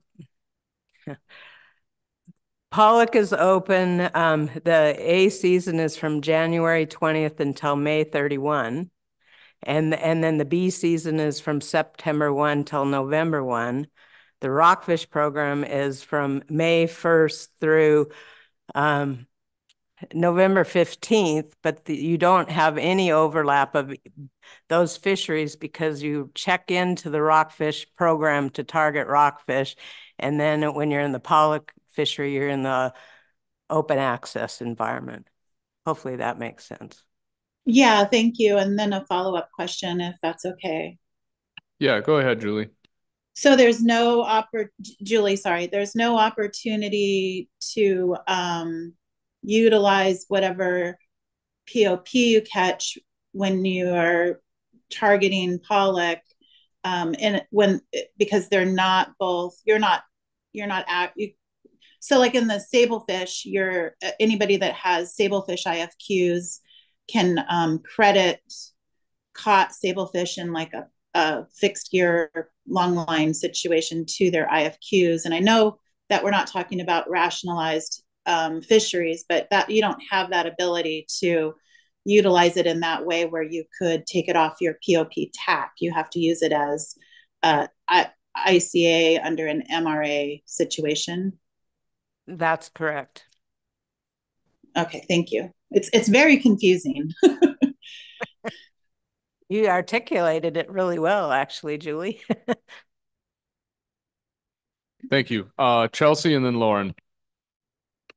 Thank you through the chair. Um, so I just want to go back. I had two questions, but I already forgot the second. So first, I'm just going to go back to what you were talking about um, in terms of the instantaneous versus at offload calculations. So can you just clarify for me um, if a the way it, even though the MRA for non-EM vessels is currently instantaneous. How is is the actual fine at the MRA calculated at offload based on the e-landings on the fish ticket? It, it is, but I guess the, the, the instantaneous means that if you got the wrong species, you'd most likely discarded at sea, right? But the fine in terms of OLE happens at the, based on what's delivered, yes. Right. Okay. So I'm just trying to indicate that the fines would still occur at the same time for MRAs, regardless of this change. So thank yeah. you. yeah. Lauren. Julie asked my question, and then I just kind of had another one come up, so I'll continue. so th thank you for your testimony. This is really helping to um, understand the situation fully because I think we had a lot of focus on the CP sector, and so I appreciate you coming and talking about the CVs.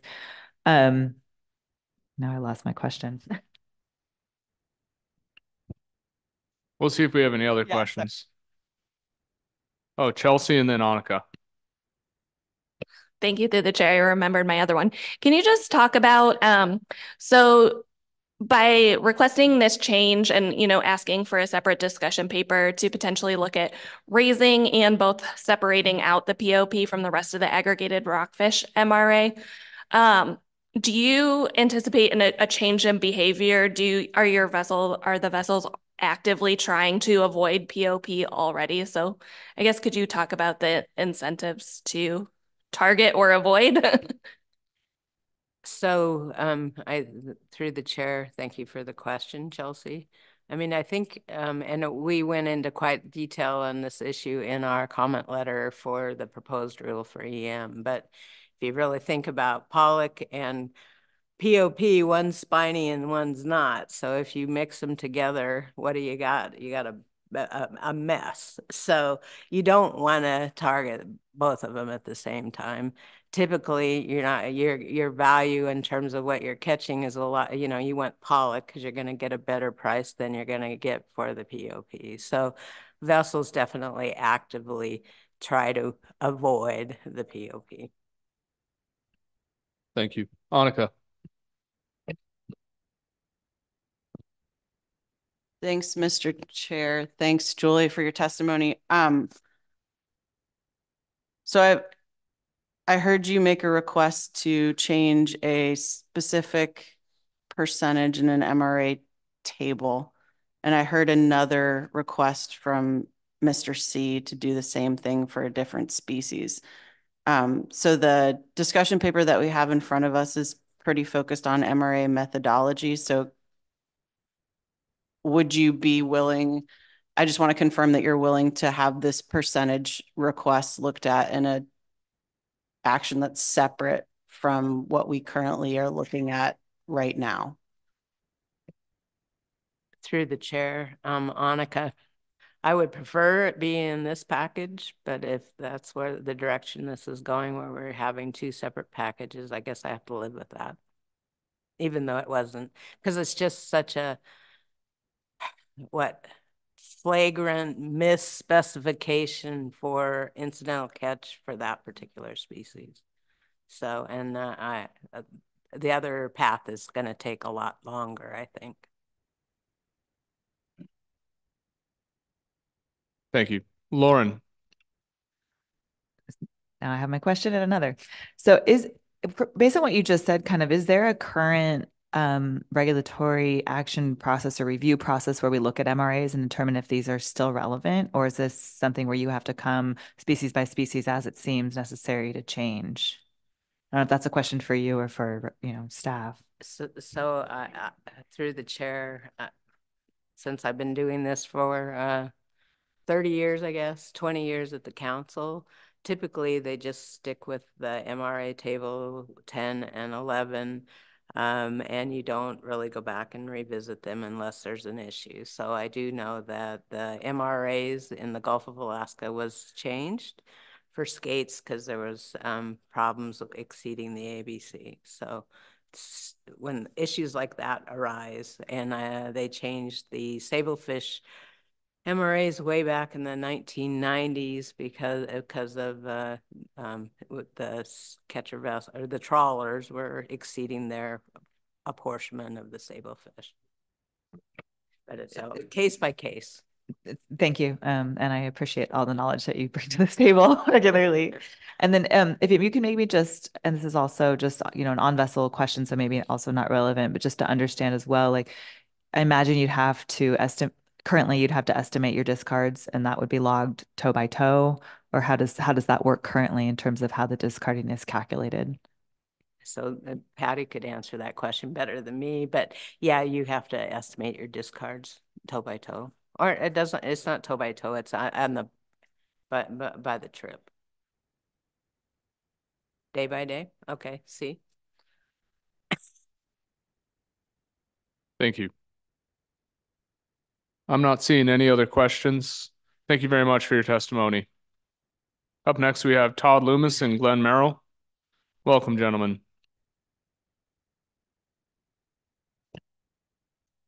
Good morning, Mr. Chairman, members of the AP, Todd Loomis uh, with Glenn Merrill on behalf of Groundfish Forum.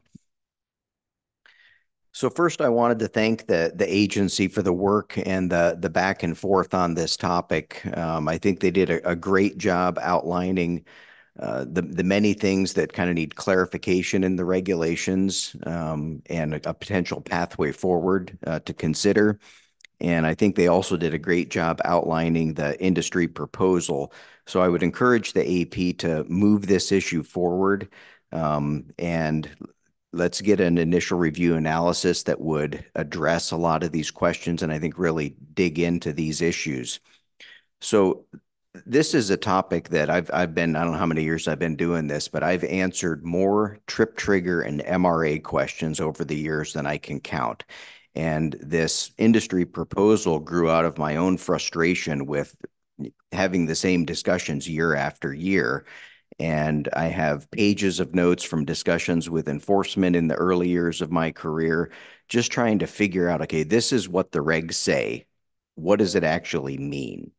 And and then as we've progressed through, you know, partial observer coverage to full observer coverage to two observers on every boat to VMS through uh, different programs, we have incredibly fine information um, that I don't believe is being utilized. We have a system that has parts of the regulations that are 30 years old and they have not kept up with modern times. And I think it leads to inefficiency.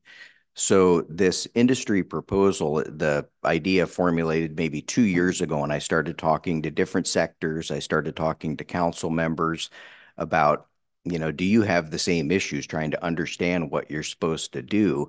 And do you have regulatory discards? And the answer was yes. And so I put this proposal forward at the October meeting last year to try and simplify the system so people could actually read the regulations and understand what you're supposed to do. And one way to do that is to simplify the trip triggers. Fishing on a Friday shouldn't be any different than fishing on a Sunday in terms of what you can retain.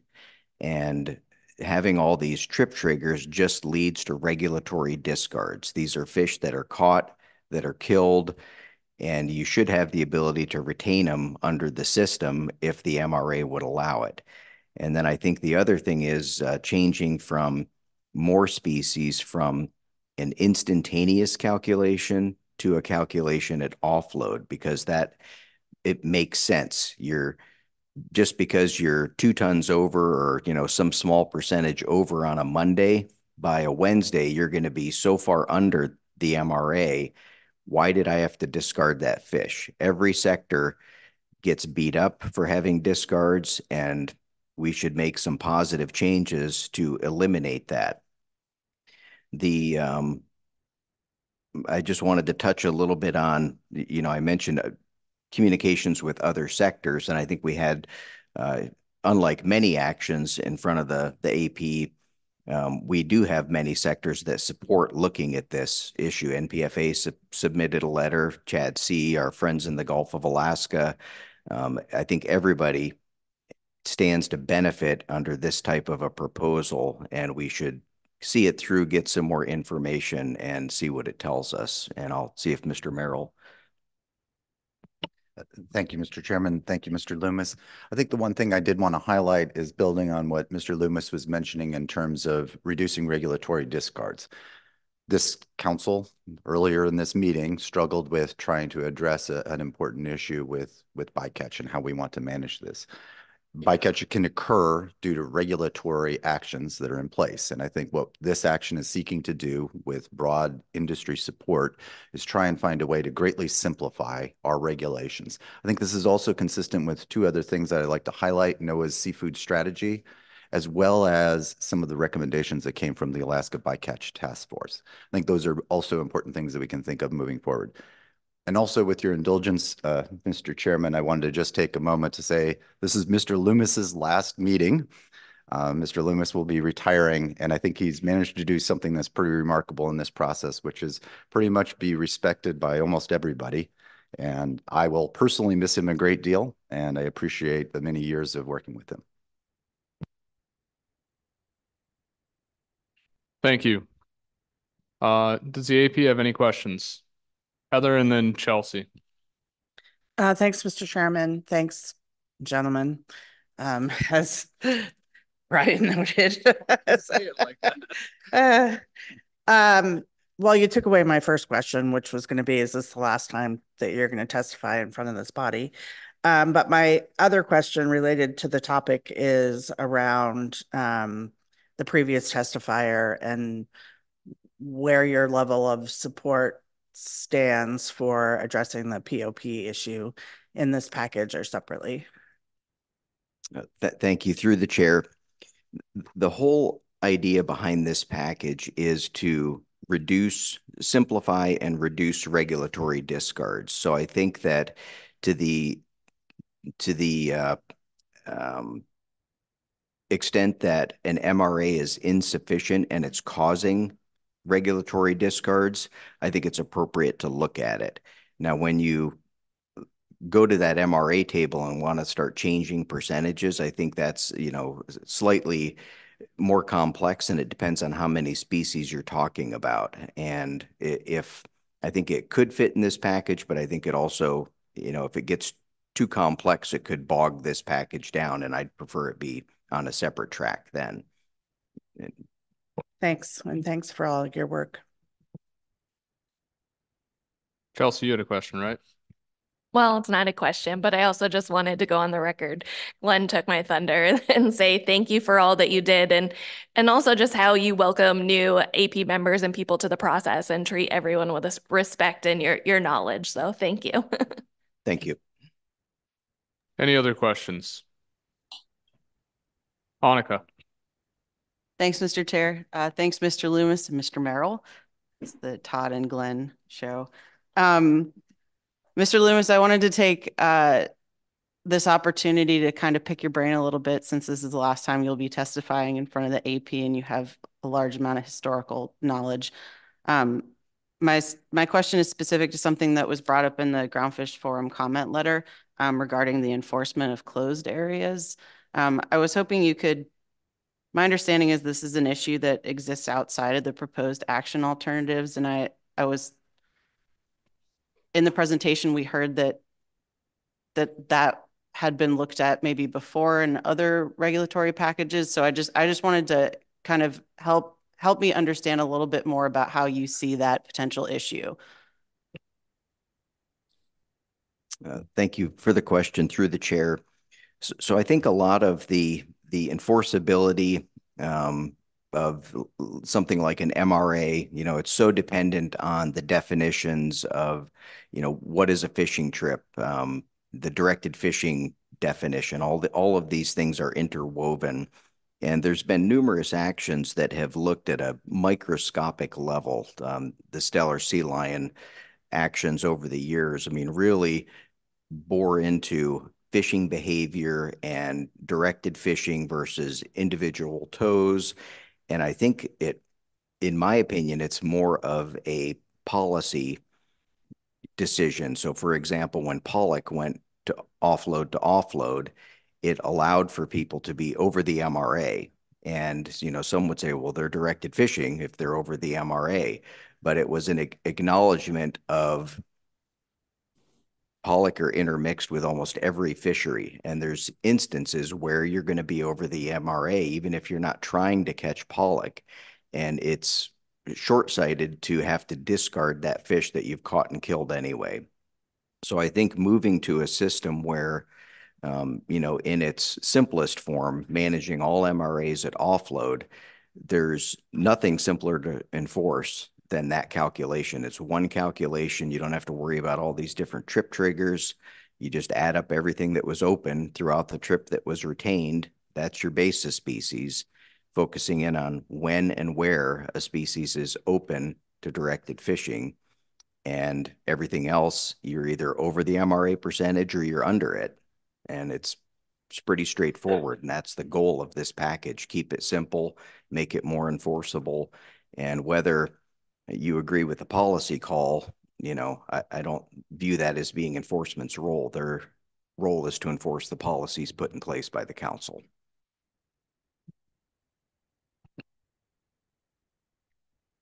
It's not a follow-up, it's a second question.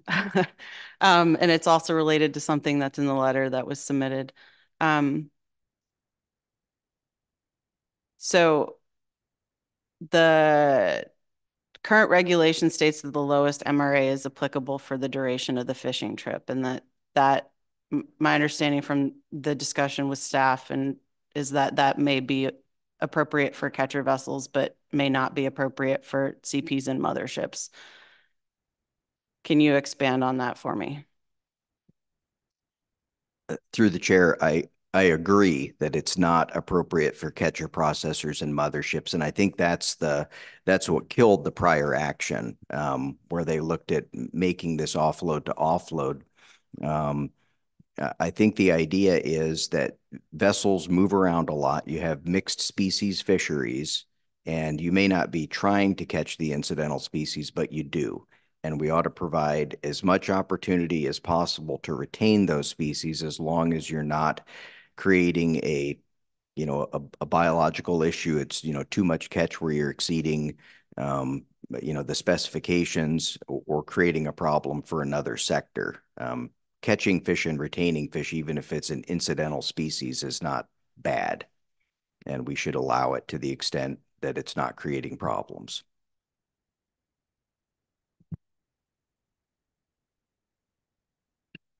Normally, uh, we wouldn't allow a third question, but seeing as this is Mr. Loomis's last last time, we'll we'll give it to you. It's not a question, it's a comment. I just wanted to say that I personally appreciate everything, um, all the you have taught me a great many things uh, about this process and about the way that regulations apply to the Amendment 80 sector. And so thank you. Thank you.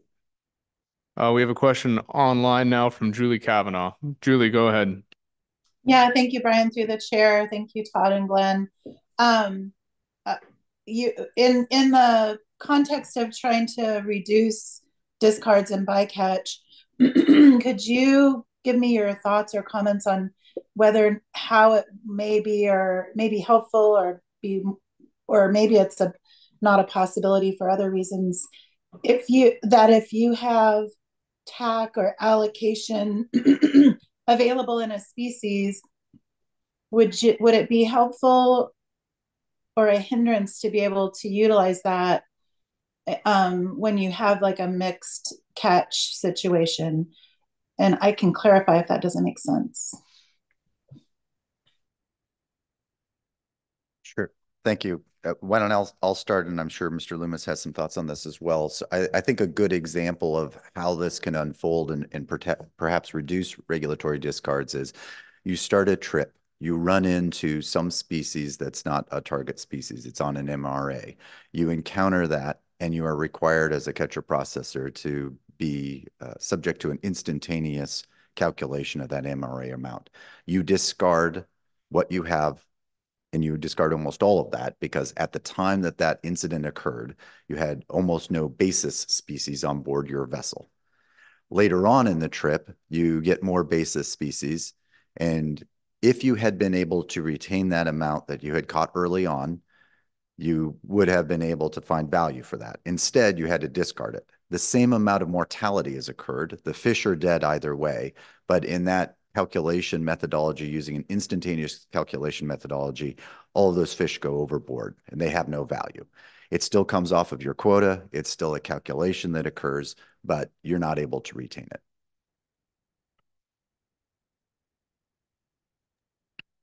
Julie, does that answer your question? Um, it's definitely um, a clarifying answer for other reasons. But I, so maybe an, a quick example if you are directed fishing for um, a species, I don't know, pollock or something, and you you're under an an MRA, an incidental catch situation for cod, but you have directed cod fishing quota available. Right now, you're not able to keep retain all that cod and account for it under your allocation. Would a situation where you could do that, would that be helpful?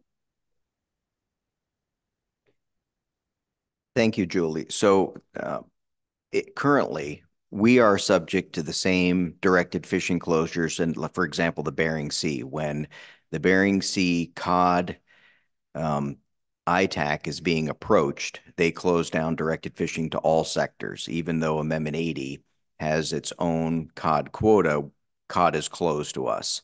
So, for example, if you went out, started a trip, and your very first haul ended up being 22% cod, you would have to discard cod um, from that first haul because you're over the MRA and it's instantaneous. The 22%, every cod you caught counted against your quota. And by the end of the trip, your total amount of cod on board is probably closer to 5 to 10%. So the instantaneous drove a discard that still counted against your quota. It was dead cod. Why did you have to discard it? That's kind of the one of the main things we're trying to address in this package in a variety of fisheries. The same thing can happen in IFQ when they catch cod early in a trip.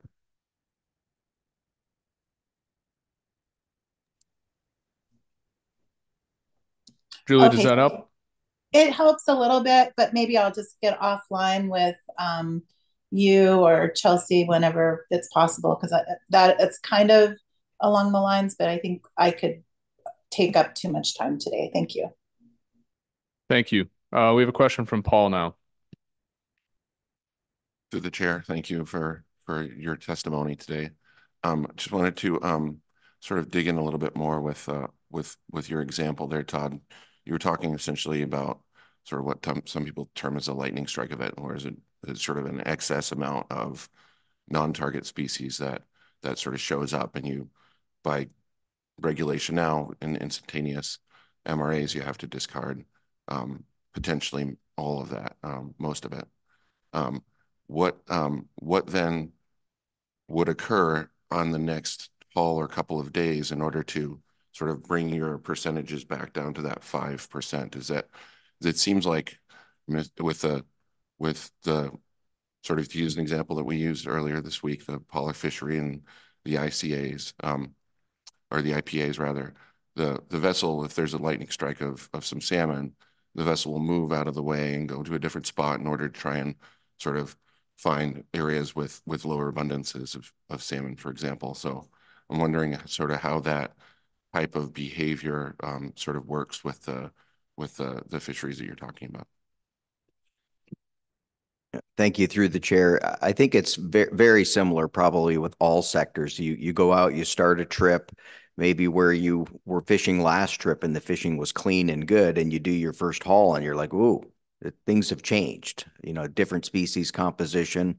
And in my example, you know, maybe more cod than you wanted over the MRA, so the boat would move. You'd, you know, start moving around the Bering Sea to try to find that clean fishing so you could get back on your your primary flatfish target.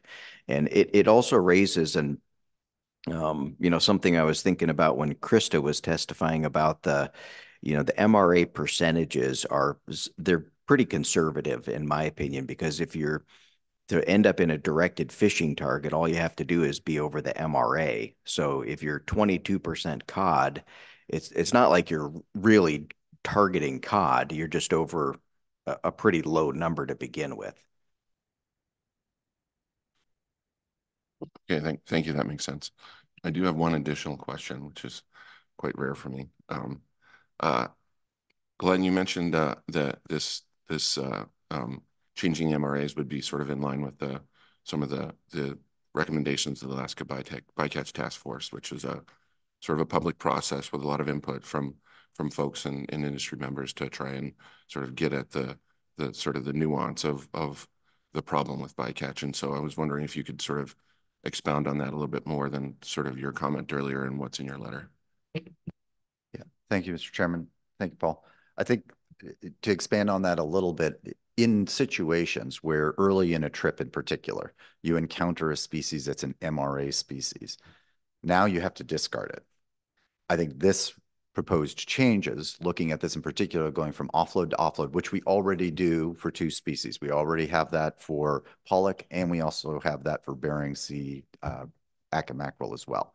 So it'd be aligning those so that what can happen in that trip is that occurs, that event occurs, you can retain it rather than throwing it overboard. I think that's the easiest kind of example of how this could improve it. I think also just simplifying the regulations themselves to make it a lot clear, clearer for crew when they're on board a vessel about how these MRAs apply can also simplify and I think reduce regulatory discards. Right now, these MRA regulations are very complicated. Our company, and I suspect other companies, have a methodology in place to try and assist the crew, the pursers, everyone in the factory to understand how you should comply with the MRA requirements. Sometimes in that process, folks are operating in a more cautious manner and they discard more simply because they're concerned about potentially violating one of the multiple triggers for a fishing trip or changes in basis species or all of the other factors that can affect what an MRA calculation is. So I think also there's a, another aspect of this as well that will likely come out in the analysis, and that is simplification of regulation can improve retention. Thank you for the response. Julie, is that a legacy hand or do you have another question?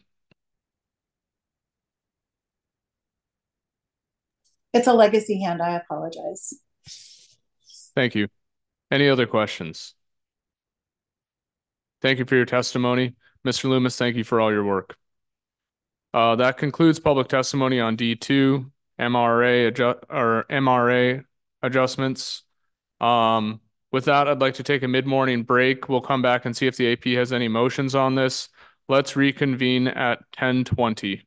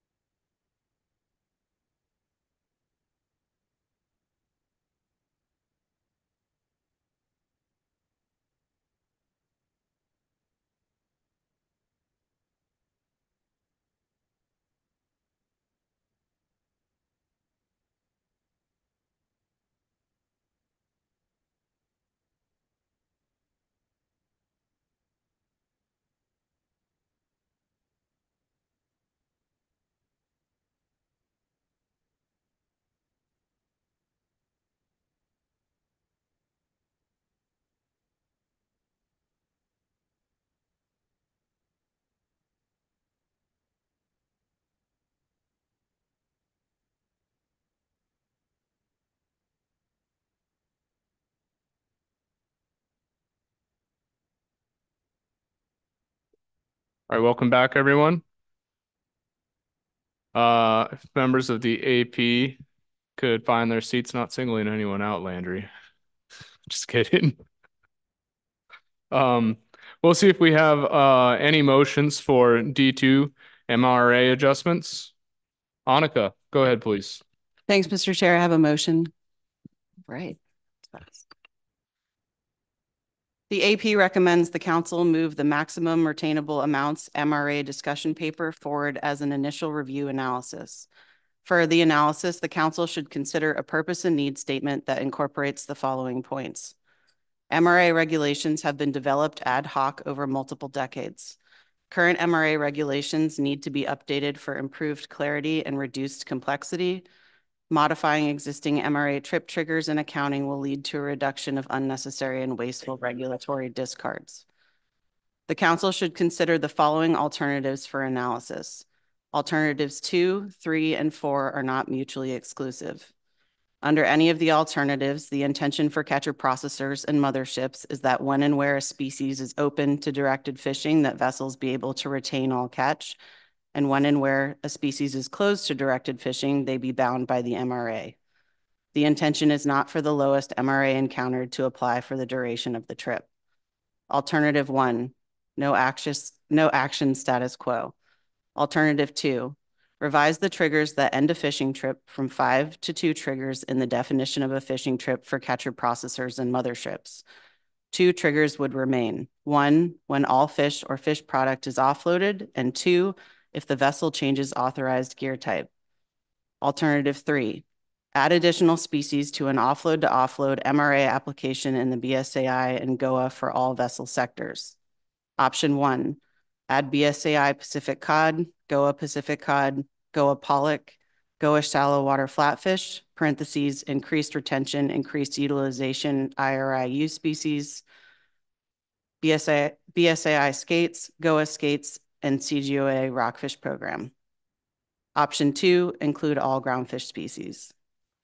Alternative four, provide exemptions and regulation from MRA requirements in cases of medical emergencies, mechanical emergencies, or poor weather that ends a fishing trip. Triggers that should be considered for MRA regulatory exemption include U.S. Coast Guard Form 2692, the Bridge Logbook, or Catcher Vessel Daily Fishing Log, DFL. The AP recommends that the analysis include all suggested regulatory language revisions identified by NMFS. Thanks, Susie. MRA regulations are important as they allow for retention of unavoidable incidental catch and other target fisheries, thereby allowing for increased utilization where a directed fishery is not possible. However, these regulations have developed and evolved over multiple decades, creating a patchwork of rules and requirements that lead to confusion and unnecessary waste. Updating the MRA regulations is needed to improve clarity, reduce complexity, and reduce regulatory discards. The motion separates each discrete change into an alternative. Alternative two revises the fishing trip definition for CPs and motherships, changing it from a definition with five separate triggers to a definition with two triggers. This would simplify an extremely complex regulatory definition of fishing trip into a current common English language understanding of a fishing trip. That is, a fishing trip begins when the vessel begins harvesting or receiving groundfish and ends when the product is offloaded. Revising this trip trigger definition will make tracking and calculating MRAs easier and less confusing for the fishing fleet. It will also decrease regulatory discards that occur when vessels are forced into complex matrices of MRA accounting for multiple concurrent regulatory fishing trips as described in the discussion paper.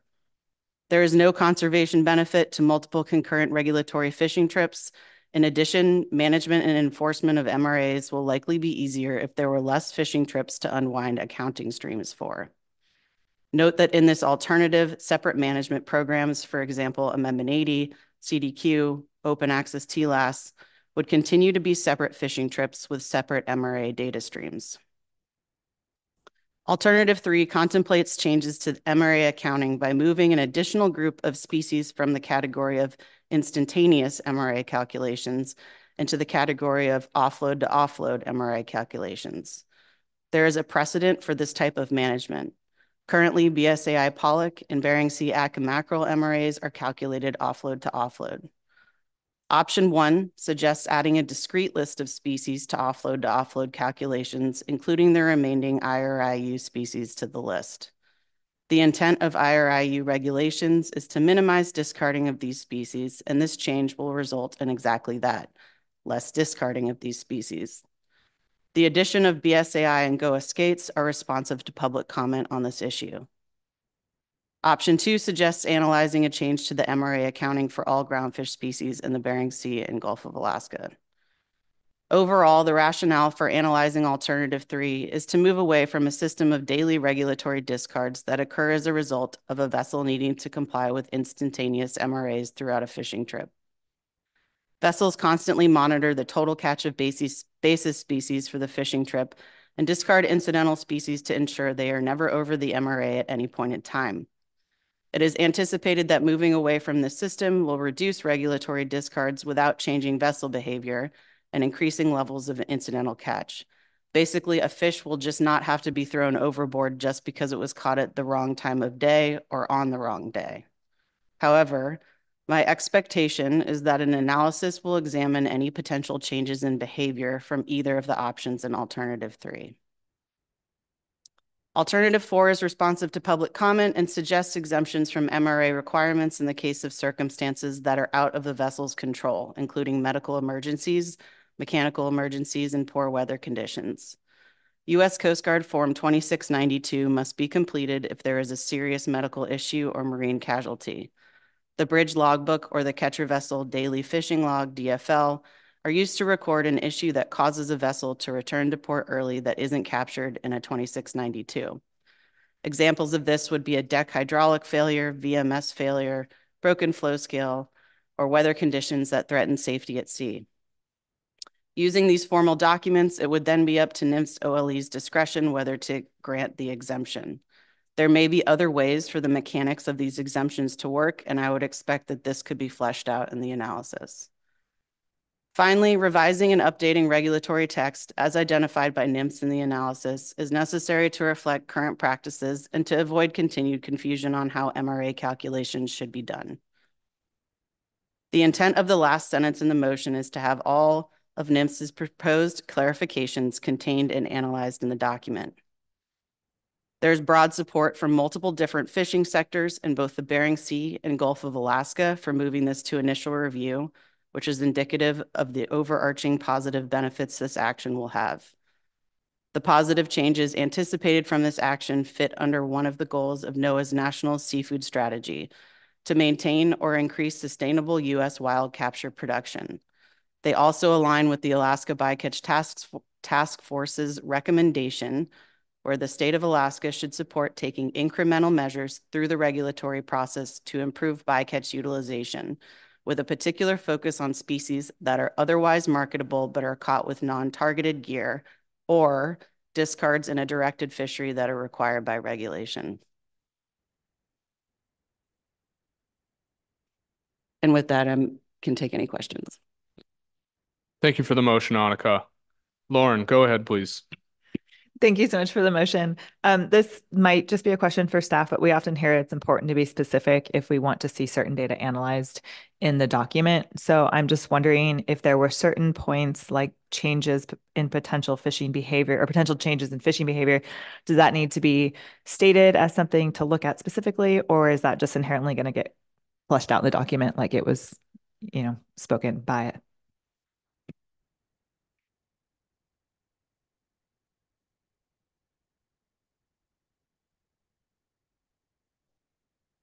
Um, through the chair, thanks for that question. Um, I think if you want to clarify that that's something that AP would like to see fleshed out in the analysis, then certainly include that in your motion. But I also think that naturally, when this goes into an analysis, that that's something that will probably just naturally come up through, you know, through the analysis. Slightly conflicting right direction. I guess I would suggest if the AP is interested in looking at that, that you put it in the motion. Yeah. Okay, okay thank you. That's probably the easiest way to do it. Thank you. Uh, we have a question Oh, do you have a response? Yeah. Uh, thanks, Lauren. Thanks, Krista. I guess I spoke to it in my rationale specifically, I think to highlight it as the maker of the motion, that that was something that I wanted to be contained. And so I'm not quite sure on process, but is that sufficient if it's captured in the rationale? Um, is that sufficient to make sure that it's something like that is analyzed in an initial review? Through the chair, I think it is, yes.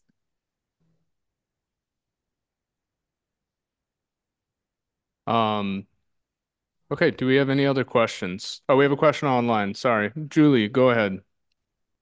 Yeah, thank you, Brian, through the chair. Thank you, Annika, for your um, motion. I think it's it's um, well written, and I was just looking at the first three bullet points that should be included in the purpose and need statement.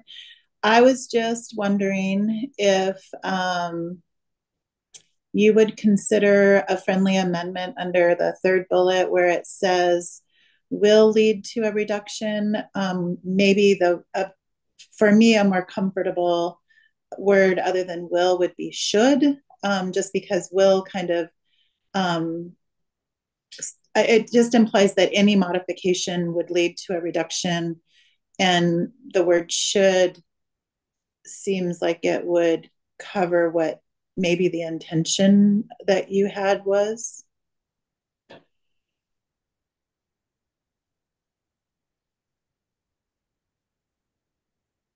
Through the chair, Julie, thanks for the question. Um, I understand that the AP is trying to get away from friendly amendments. Um, Oh, okay. I- Thank you.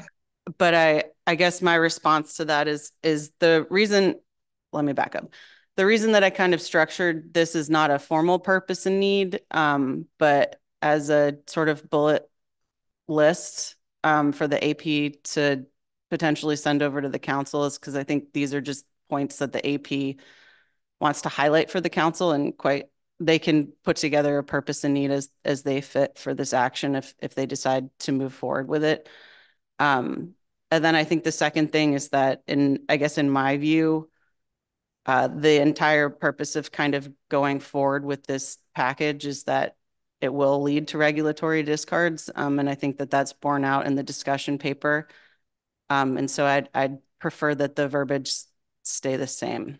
That's, I guess, my response.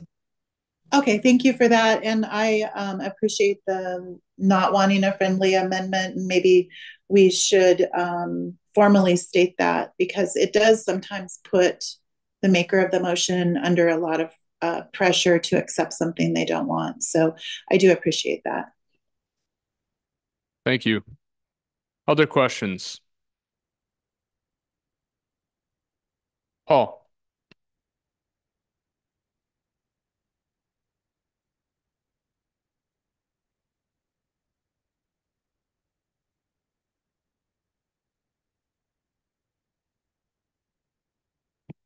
Through the chair, thank you, Annika, for the, for the motion. Um, I just wanted to clarify, under alternative four, you have a list of several things that is clearly not meant to be exhaustive. But I was wondering if, um, you could possibly identify what you mean by bridge logbook and maybe specifically why, uh, the DCPL was not included. Sorry, do I, do I, should I repeat? Maybe fire away one more time. Sorry. Testing, is this better?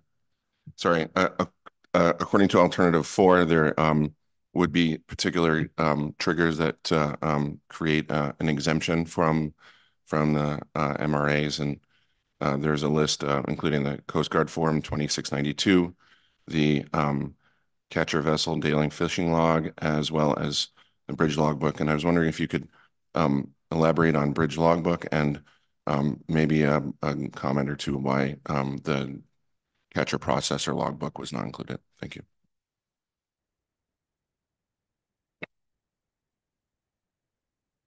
Through the chair, thanks for the question, Paul. Um, I think my in, my intent with the choices that are in this alternative is, I guess, the twenty-six ninety-two is required under regulation for marine casualties. And so that kind of deals with sort of the bigger issues that may arise when a vessel's at sea. Um, I think the other two choices, the bridge logbook and then the catcher vessel daily fishing logbook, I think my intent was to be responsive to the fact that different types of vessels record non 2692 issues in, in different ways. Um, and so my intent was to include something, a document that catcher processors might use to document those kind of issues. Um, and then a way that catcher vessels might document those kind of issues. Um, so I guess that was, that's why I chose those three things to start with. That clarifies it. Thank you. Thank you. Any other questions?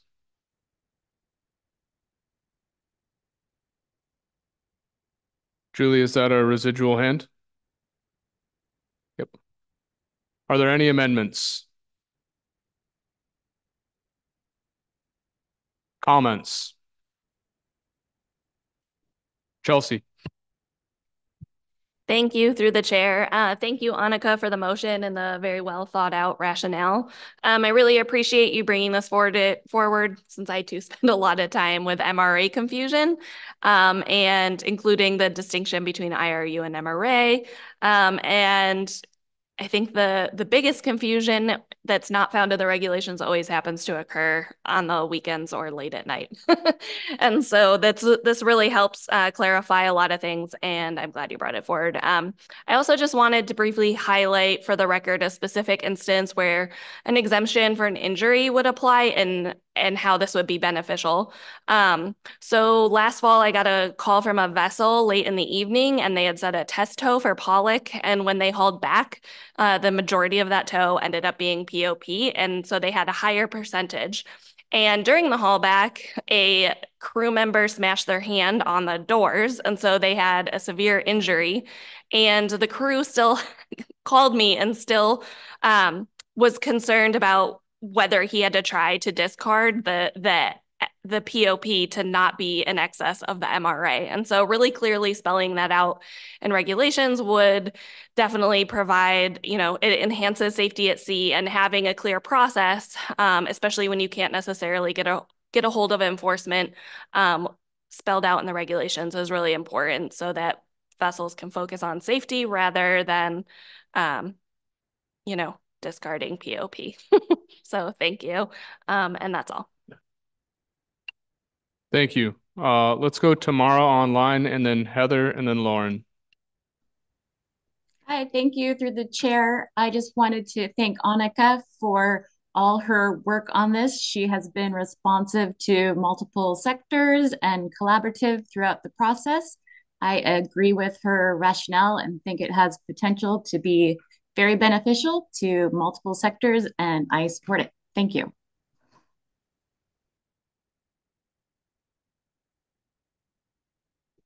Uh, thanks, Mr. Chairman. Um, thank you for the motion. I'll align myself with Tamara's comments and also um, add that, you know, this has been a long time issue and Mr. Loomis has been working on it for quite some time um, doing all the due diligence that needed to be done. And so I think it's appropriate um, at this point uh, to move it forward. So I'll support the motion. Thank you. Lauren. Yeah, and thank you, Annika, for for this motion. Um, I will be supported, and I look forward to further discussions. Um, I do believe that's important to discourage discarding, and I also think there was some um, topic or some conversation we had at, off the table about how the data will be better in terms of spatiotemporal distribution of fish rather than estimated discards and what that looks like. So I think all in all, it is important to have um, better accountability of, of the fish that's being caught by a vessel. Um, I do have a little, a few concerns about the way that this could incentivize incidental catch and maybe some changes in fishing behavior. But as we spoke to, this um, ideally will be talked about in the further analysis and we can discuss it further. And I look forward to hearing uh, more information about that as we move forward. Um, and I think I will stop with that. And I, I get it. There's a lot of honors calculations and there's a lot of difficulty. And we all want to see, you know, decrease in bycatch, increase in utilization, and, and in general, just better fishing practices. So again, thank you. Thank you. Julie and then Susie. Yeah, thank you, Annika, for your motion. Um, I will be supporting it, but I will align my uh, self with Lauren's um, comments um, with her the concerns she has, and then I'm also uh, a little bit concerned about the way the third bullet is worded. I think there was conversation where um, it was unclear whether some of the things listed would read would lead to a reduction or um, could potentially increase that. So um, even though I'm going to support it, I have those those couple concerns, but I also recognize that um, many of the regulatory changes would be very helpful and and reduce the um, complexity of of that. So I appreciate it. Thanks. Thank you, Julie. Susie. Through the chair, thanks, Annika. I'm going to align myself with the supportive comments prior. Um, I really appreciate all the collaboration among sectors and fisheries. I think this is a really um, kind of holistic approach here. Um, I also just, I, I really appreciate the looking at trying to bring some of our regulatory language and regulations into more uh, current standards and what we're dealing with now. I know a lot of a lot of regulations we deal with in a lot of these different agenda items um, it comes up pretty often that we we made that regulation 30 years ago before I was born. And so I'm always like, all right, well, let's do something about it. So I really appreciate that you all, that everybody that's worked on this has been able to really assess and develop something and bring it into this um, more updated space. So thank you. Any other comments? Seeing none, uh, would those in support of Annika's motion please raise their hands?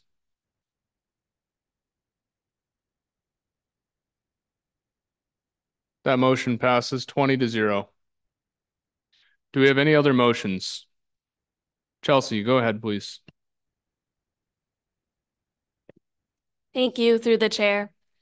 Uh, the AP recommends that the council initiate a discussion paper to explore the potential of increasing the following existing MRA percentage. The MRA percentage for GOA aggregated rockfish, specifically Pacific Ocean perch, as the incidental catch species and pollock as the basis species in Table 10 to Part 679. The discuss discussion paper should include, but is not limited to the following. A history of the implementation of the MRA percentages, including POP stock status at the time of implementation of the MRA, information on the current GOA POP stock assessment. Oh, somebody can make her friendly. Considerations for whether POP should have a separate MRA from the aggregated rockfish MRA in the GOA pollock target. And with a second, I will speak to my rationale. Sorry. Thank you, Heather.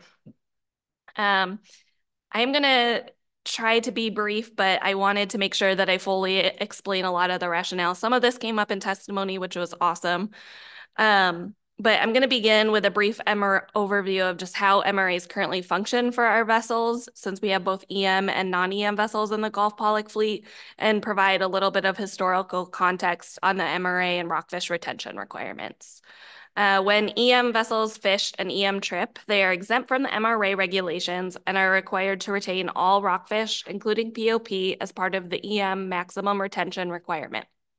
They deliver it to the plant, and at the end of the season, they are assessed performance for each trip under the 5% MRA, according to our NMFS approved performance standard in the EFP, which will become an IPA in the regulated program in 2025, barring any changes between the proposed rule and final rule. They are required to forfeit the value of all MRA overages greater than $250, just like the MRA regulation enforcement. Fines are assessed according to the fine schedule, and vessels must pay invoices prior to the next season. This is to ensure that their behavior doesn't change to start targeting more rockfish. Essentially, even though they are exempt from the MRA in regulatory form, they must still comply with the intention of the MRA via the IPA. When vessels fish a non-EM trip, they may retain, but are not required to, rockfish up to the 5% MRA percentage. All other rockfish are discarded. As we know, they experience barotrauma due to the pressure change and all are dead. More than half of the Gulf pollock fleet also participate in the Central Gulf Rockfish Program, belonging to one and belong to one of the five rockfish cooperatives, so they are allocated POP, Northern Rockfish, and Dusky Rockfish on LLPs. However, even though they may have POP quota, they are not allowed to use it when directed fishing for pollock.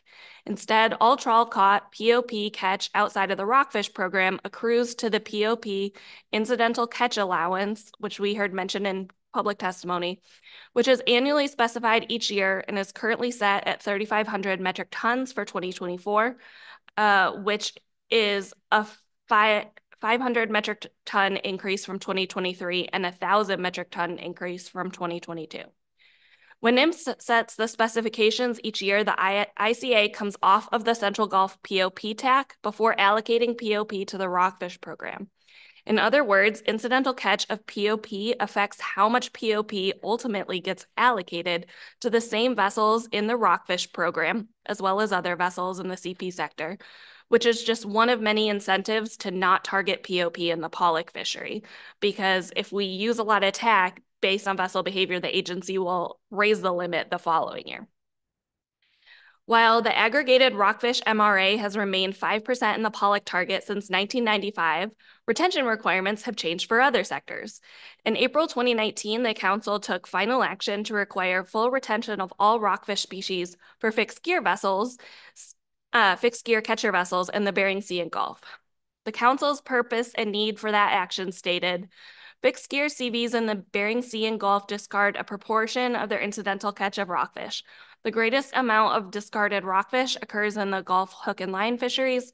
Requiring the full retention of rockfish would improve identification of species catch composition when CVs are subject to EM, improve data collection by providing more accurate assessments of total catch, reduce incentives to discard rockfish, may reduce waste, reduce overall enforcement burden, and provide more consistency in regulations. Despite this regulatory change for the fixed gear sector, the trawl gear sector remains subject to the 5% MRA and the associated penalties, regardless if they were required to keep it all under EM.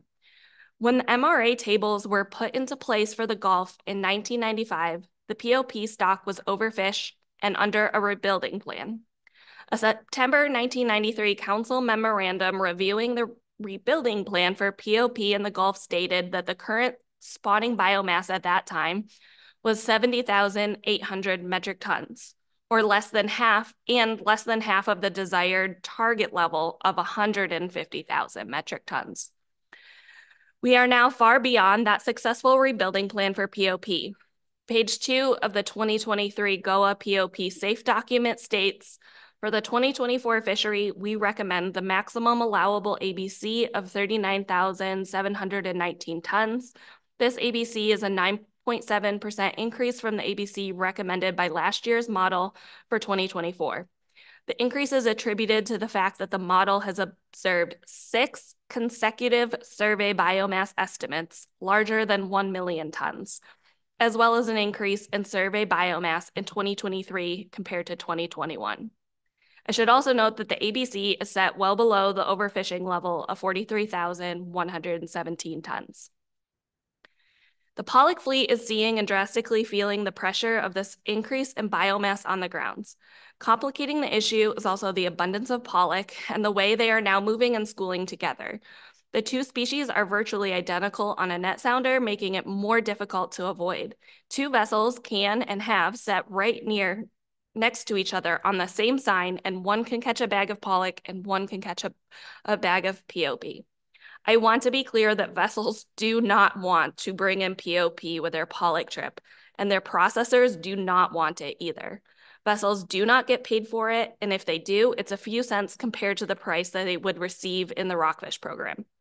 Pollock trips mixed with POP affect the pollock quality and take a space in the fish hold that could have been filled by the pollock they will get paid for. One operator with a bad accidental POP tow last year noted to me that the trip cost him about $70,000 in lost product value since he had min minimal pollock, fines, fuel costs to come in light, and lost additional fishing time because to offload and sort out a high volume of POP is a lot slower than a typical pollock offload. There is literally no incentive to target POP or any rockfish incidentally, but yet it's becoming a problem that is nearly impossible to avoid in early A season and then most of the fall B season. And when the fleet is targeting POP in the rockfish program, it's becoming nearly impossible to avoid pollock. However, the 20% pollock MRA when checked into the rockfish program provides more of a buffer from financial penalty and but it's still operationally difficult since POP is what the vessels and processors want at that time. We're not in, I'm not intentionally specifying a particular MRA to be examined, but we would prefer a 20% MRA to keep it more in line with existing MRAs. To summarize, since the aggregated rockfish or POP MRA was put into place, the stock has moved from overfished and the survey spawning biomass is now over a million tons. Further, exploring this in a discussion paper does not mean that the council would necessarily move to analysis, although we do think it's warranted. And it will not change the uh, amount of rockfish removals. Vessels will still be trying to avoid it since it prevents so many oper or presents so many operational cha challenges. This discussion paper, if pursued to an action, would only help provide better data since all catch would be weighted the dock instead of being just a discard estimate, provide a larger buffer of what could possibly be utilized, and a wider buffer of release from MRA fines since the ecosystem and POP biomass has changed so significantly. It also should also be noted that this would meet the Alaska Bycatch Task Force recommendation that the state of Alaska should support taking incremental measures through the re regulatory process to improve bycatch utilization with a particular focus on species that are otherwise marketable but are caught with non-targeted gear or discards in a directed fishery. They that are required by regulation. I know this is a complicated issue and it's been a long week, so thank you for listening. And with that, I'm happy to take any questions. Thank you. Are there any questions?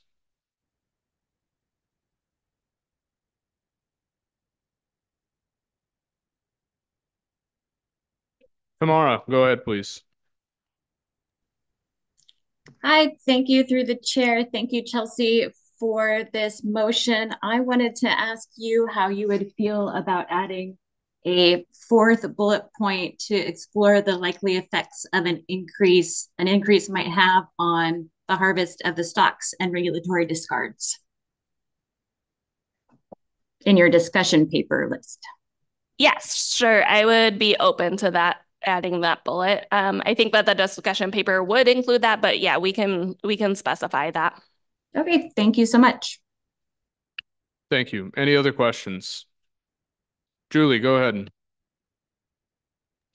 Yeah, thank you, Brian. Thank you, Chelsea, for your motion. Um, can you, on a high level, if possible, explain to people that aren't familiar with um, MRAs and, and setting those percentages what happens when when or if like pop goes down to a, a low abundance again would you still would do you remain at that 20% unless it's addressed in this type of fashion or is there some type of i think it was said in um, public testimony that it's it's kind of set in stone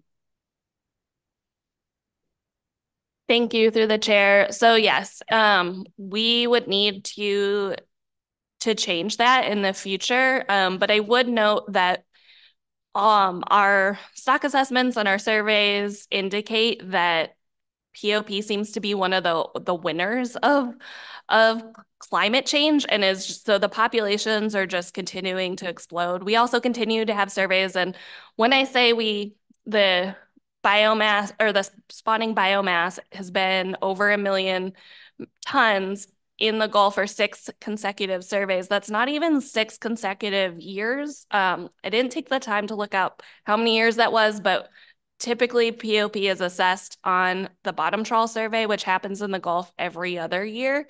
And there was also a pretty big gap during COVID from bottom trawl survey. So it's been a considerable amount of years. And I also think that's something that could be flushed out in the analysis. And obviously the SSC would would really have the opportunity to weigh in um, to decide whether we were anywhere near approaching a status where we shouldn't make this change because there's instability in the stock. Yeah, thank you. And a follow-up, um, just that, uh, it, would it be, I mean, in my, my, my thought process, uh, the MRA percentage is set at like a worst case scenario. And from your rationale, it sounds like there's not really a, a, a, at this point, a good reason to like, um, exploit that to the fullest because of the operational issues that you listed. So just because it was at 20%, if you have a lower biomass, you wouldn't necessarily reach that top cap because you wouldn't be encountering them as much. Yes, through the chair, that that would be correct. Um, I also think that, you know, we even though our our my fleet's harvest of POP when they're in the pollock target up to the MRA, um, they don't benefit from that because the processors don't want it. It damages their product. All those reasons that I listed. Plus, there's the incentive. We don't want to harm POP stocks because it's the rockfish program fishery is a really economically um, important part of Kodiak's business plan. So I think, you know, we are really engaged in the process. And I think not only would things come out in the analysis, but I also think we would be responsive um, and we would not be trying to take more. This is really just an operational issue since the biomass has exploded so much. All right, thank you. Thank you. Any other questions? Shannon, go ahead. Uh, through the chair, Brian, if appropriate, I, I just wanted to add a little bit to Chelsea's response from a one shoreside processor's standpoint, uh, just along the lines of uh, us not wanting the product. I, I, think Chelsea spoke to that well, but just a, a little bit more explanation. The the Gulf pollock fishery is unrationalized. So we're trying to um, process pollock as quickly as possible, get the boats back on out on the grounds. POP requires a lot of uh, labor to, to process. It typically costs more to, uh, to fillet it than it does for what the value of the fillet is. Um, and it's, like I said, incredibly labor intensive. It pulls people off the lines from processing the, the primary species of pollock, puts them on the POP. Um, so it's very disruptive to the plant flow and efficiency. So it's not that we don't want the product, it's more just what it does to the, the, the fishery. So I, I think um, maybe in the future rationalization will help with that, but um, right now that's sort of our perspective. We do um, certainly like POP when it's in the rationalized rockfish program because it comes in at a much slower pace, better quality. It is a quite fragile fish too to protect the, the color. So um, they're just trying to add a little bit of uh, credence to what Chelsea was saying in terms of us not wanting it, really discouraging the fleet from getting into it. I think what we have seen though is with the abundance, um, it's just hard to avoid. Um, so we're trying to also recognize that we want to minimize discards. Thank you. Lauren.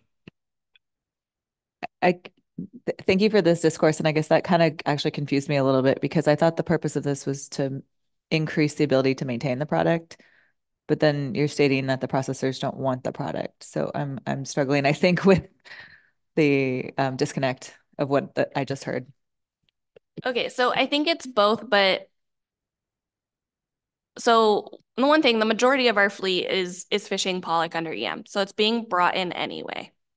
So it's it's being brought in, it's being retained, and they're going to be subject to fines at a 5% MRA when the biomasses explode. The other thing is, at least even in non-EM trips, even when processors aren't able to fillet it, um, the and you know we we wish as as uh Shannon said, you know, we wish this were different, but at the very least, Kodiak has a fish meal plant, which helps support. And so at least it has a use, even if it's not the most preferred use, and it's coming in anyway. So it's kind of a, a twofer on that. And Shannon has more.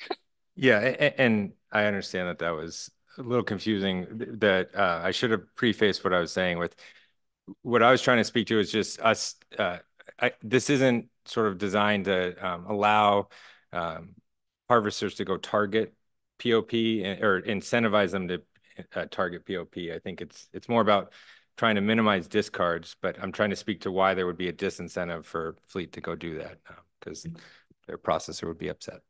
No, no, thank you for the explanation, and I'm grateful to hear that at least Kodiak has a fish meal plant because I think there's so much we can do with all parts of the fish. I wish that more processors had that capacity. Any other questions? Amendments? Tamara, go ahead, please. Hi, thank you. I think Shannon has my amendment, so it should be coming up soon.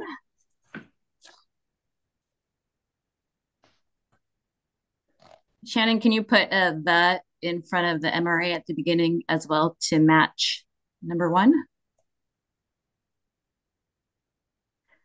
So I would like to add uh, number two, the MRA for BSAI skates, other species as the incidental catch species, and the Pacific cod as the basis species in Table 11 to Part 679.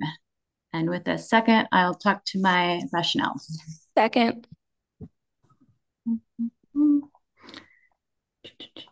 So this is in response to the testimony we heard and the written comments from the freezer longliners. The intent of considering an increase to the MRA percentage is to further minimize regulatory discards of skates by our fleet. In the process, improve utilization of the resource. FLC members have been experiencing increased market demand for smaller skates in addition to the traditional market for larger skates. This creates the opportunity for our vessels to generate additional revenue from our targeted Bering Sea Pacific cod trips through increased retention of the encountered skates. We do not anticipate an increase in the MRA to affect fleet behavior on the harvested skates or an increase in overall skate catch. Rather, a change coupled with the revisions to the of the MRA would facilitate greater retention of the skates we encounter. Um, it seems efficient to add this to Chelsea's motion to be looked at at the same time, and it seems to be consistent with the Alaska Bycatch Review Task Force to minimize regulatory discards. Thank you, Tamara. Do we have any questions regarding Tamara's motion to amend? Tamara, I'm not seeing any questions. Um, are there any amendments? Comments? Chelsea, go ahead. I'm sorry, Brian, I had a, another amendment. You, yeah, we have to get through this amendment first, and you Oh. can't amend your own amendment. Right, sorry. Gets confusing online sometimes. It does. All right, and it gets confusing sitting here too. Um, Chelsea, go ahead. I just wanted to say that thank you, Tamara, for the amendment. Um, it was definitely responsive to public testimony, and so um, I will be supporting it. Thank you, Chelsea. Any other comments?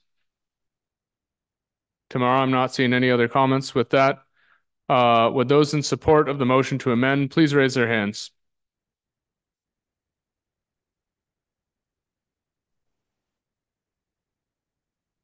That motion passes twenty to zero. Do we have any other amendments?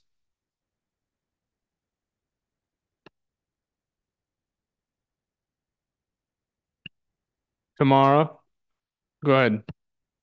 Yes, I have a second amendment, which Shannon has, and I think she will be pulling it up soon.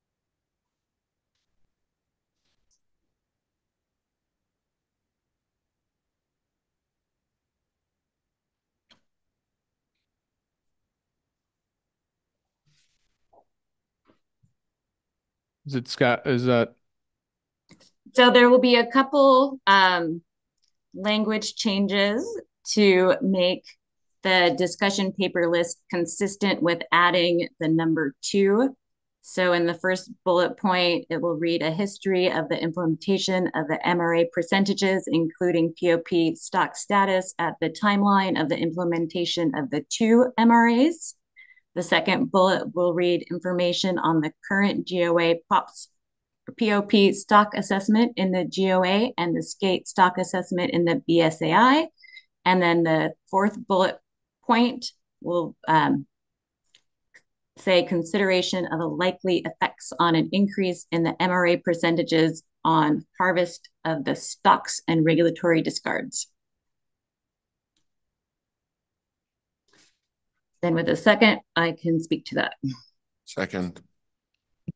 So the addition of the two MRAs and the skate stock in the BSAI is just to be consistent with adding the number two to the main motion. And the bullet point is just to be more prescriptive to the discussion paper to make sure that the um, harvest of stocks and regular discards are looked at appropriately. Thank you, Tamara. Are there any questions? Amendments? Comments? Would those in support of the motion to amend please raise their hands?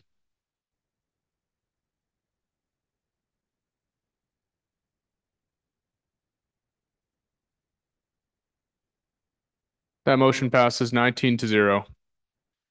With that, we return to the amended main motion. Are there any other amendments? Final comments. Annika, go ahead. Thanks, Mr. Chair. Um, thanks Chelsea and Tamara for the motion. I'm going to be supporting it. I think it brings out two kind of unique situations um, that we heard about in public comment. Um, and so I think it makes sense to initiate a discussion paper to be responsive to that comment. I just also want to note that I appreciate the phrasing of the discussion paper should include, but is not limited to the following. Um, I think that the issue of changing MRA percentages, there are likely other stakeholders um, in the North Pacific fisheries that may have other unique sets of circumstances with numbers specific numbers in the MRA tables that they may want to look at. And I understand that that's maybe not the intent of that particular part of this motion, but I just wanted to flag that um, as a potential a potential outcome of a discussion paper that starts to look at specific unique issues with MRA table percentages. And so um, thank you for the motion. I think it's really well done and I'll be supporting it. Thank you, Annika. Any other comments? Seeing none, would those in support of the motion please raise their hands?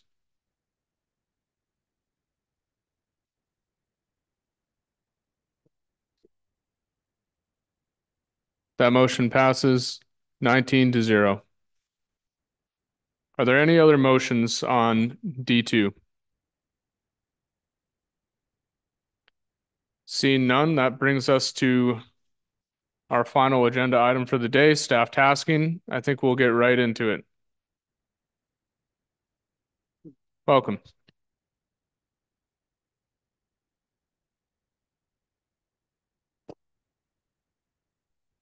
Good morning, members of the AP.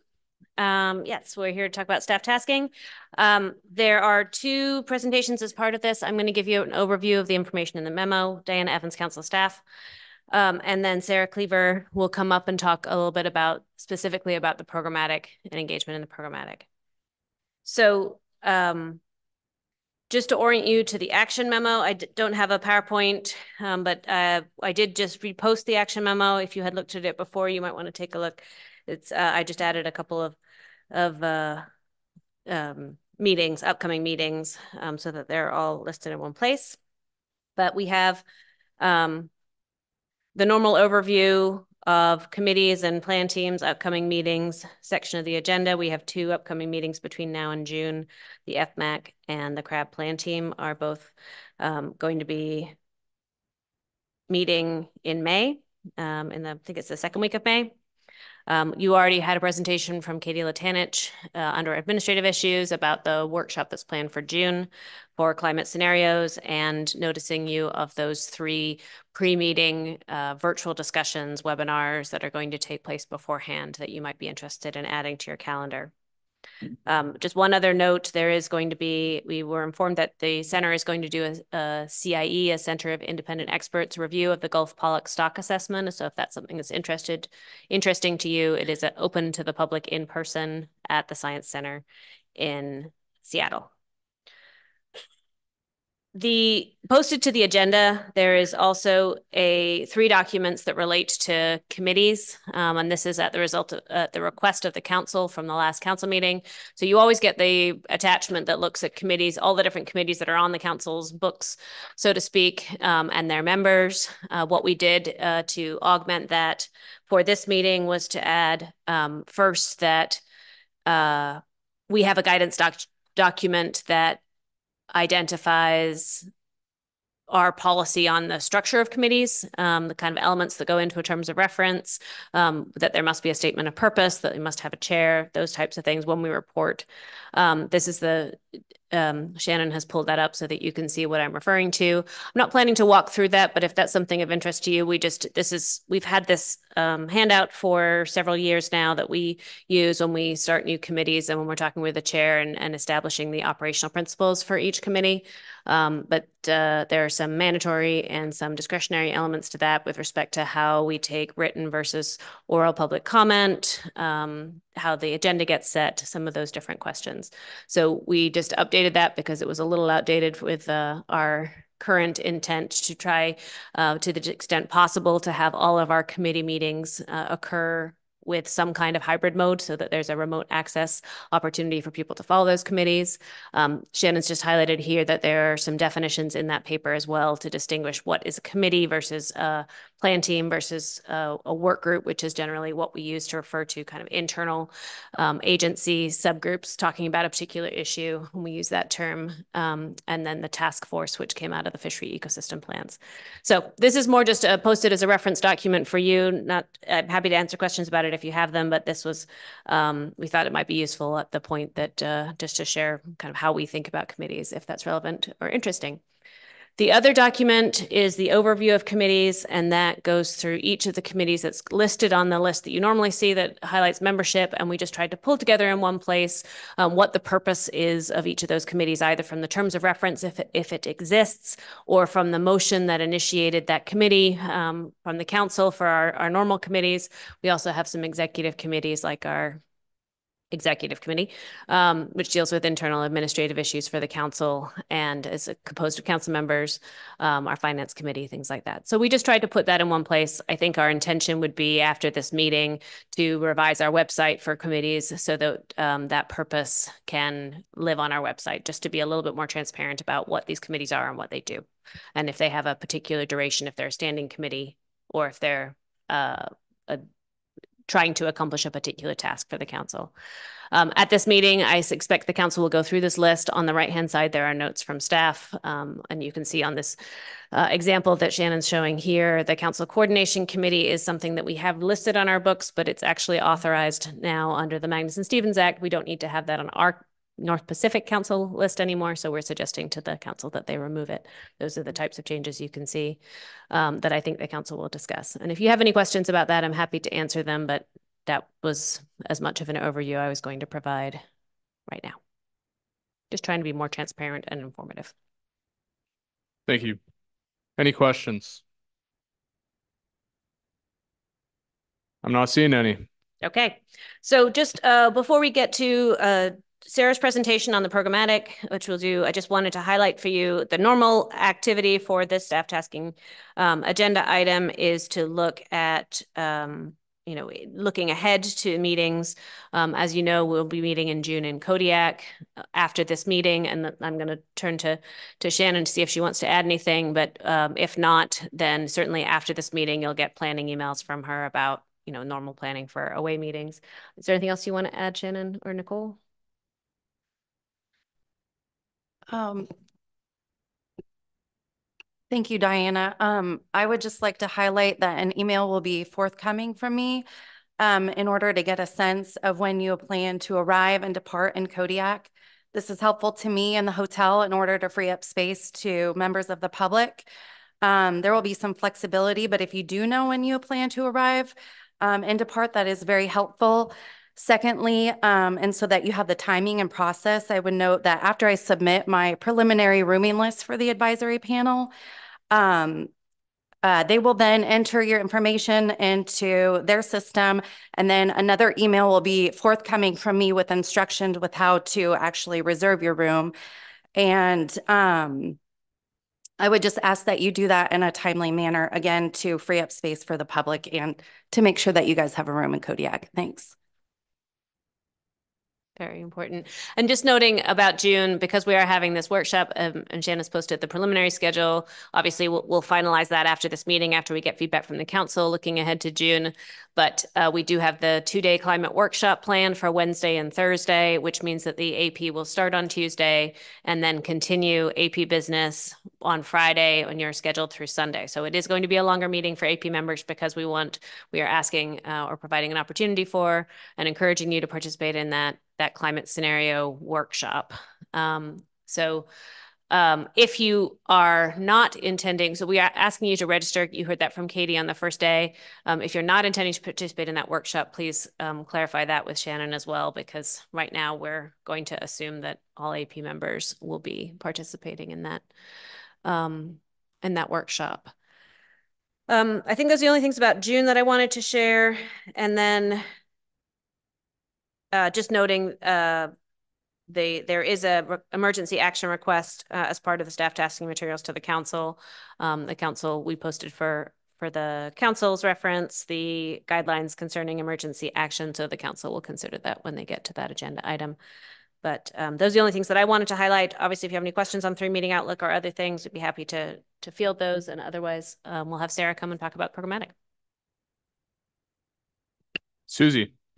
Thanks. Um, I saw on the couple back on the chart with all the different committees and some of the notes of what's ongoing.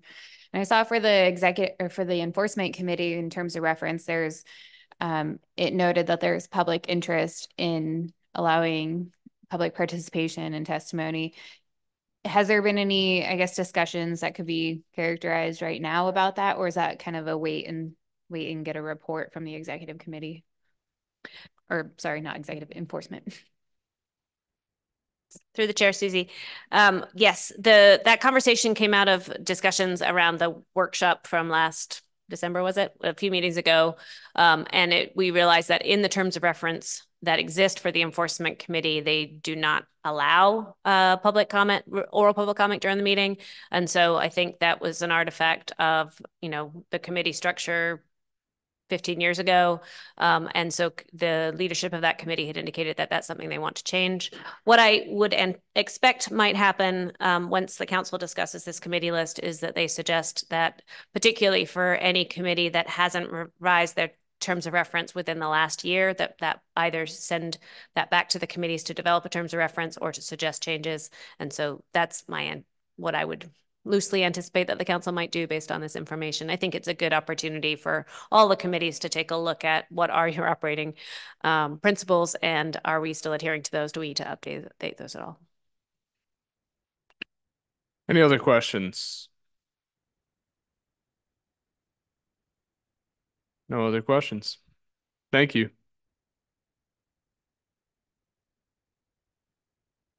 Welcome, Sarah.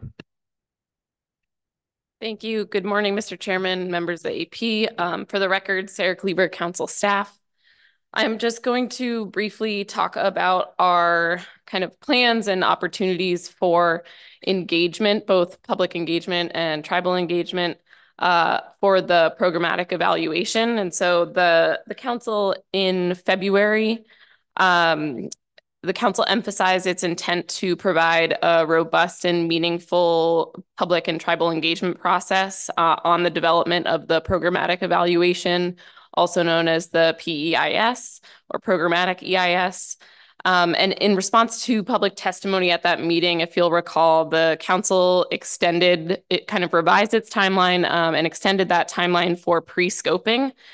And so council instructed staff to continue pre-scoping activities, um, engagement activities to kind of further involve um, the public, tribes, and other stakeholders uh, on the programmatic and, and mostly as it relates to trying to further develop um, the alternatives for the analysis of that action. Uh, as a reminder, that action is really, the programmatic evaluation is really looking at the council's management policies, goals, and, goals and objectives for uh, all of the federally managed fisheries in the Gulf of Alaska, Bering Sea, and Aleutian Islands. And in February, the, the council supported NMFS tribal consultation to continue to continue to receive um, input on this. Um, and then that would be occurring as part of the the pre-scoping process and then formal NEPA scoping actually uh, as you might remember, begins when the notice of intent to prepare uh, to prepare an EIS um, is published by NMFS. So that that formal scoping process doesn't begin until that date. Um, currently under the the council's timeline, which they, I guess it's on the previous slide, in February, the the council's revised timeline included issuing the notice of intent in fall of 2024. So that pushed that, um, that delayed that a little bit later than was uh, than the council had before been looking at before the February meeting. And so any of the public scoping comments that would come out of um, formal NEPA scoping would then follow that um, that NEPA scoping period. So if the if NMFS prepared a notice of intent in the fall, um, then we would expect the council to be to be able to receive um, a report of all of those public scoping comments um, at a at a meeting likely in the winter spring um, of 2025. So since February, staff, both council staff and NMFS staff, have been looking at um, what our options for engagement are given the council's February motion and tried to consider both how the council wants a robust and meaningful engagement process, um, but also given that fall 2024 timeline. Um, so currently on the slide here, which I'm going to refer to as timeline A, is what staff have planned given some of those um, some of those considerations. So currently NMFS has a tribal engagement meeting planned on April 17th and then they are working to try to set up another additional tribal engagement meeting um, in late April or early May. And if there are specific questions on, on the details of that, um, I think they were going to be in the room for this, but I don't see them here. Um, my NMFS counterparts, so I would have to get back to you on any kind of updates on planning for that one. But as far as I know, that's still in the works. They're still trying to um, get that scheduled. We heard in February uh, loud and clear that trying to do tribal engagement over the summer is not a good time for um, because tribes are are engaging in subsistence activities. So we really tried to avoid scheduling uh, any tribal engagement activities um, between late May and August um, or September. However, if the council wants the um, if the council would like the NOI, the notice of intent to go out in fall of 2024, we took that to mean uh, the, after the October 2024 meeting. That means that NMFS would notify tribes of consultation for the October meeting in August so that there would be time for tribal consultation to occur in September.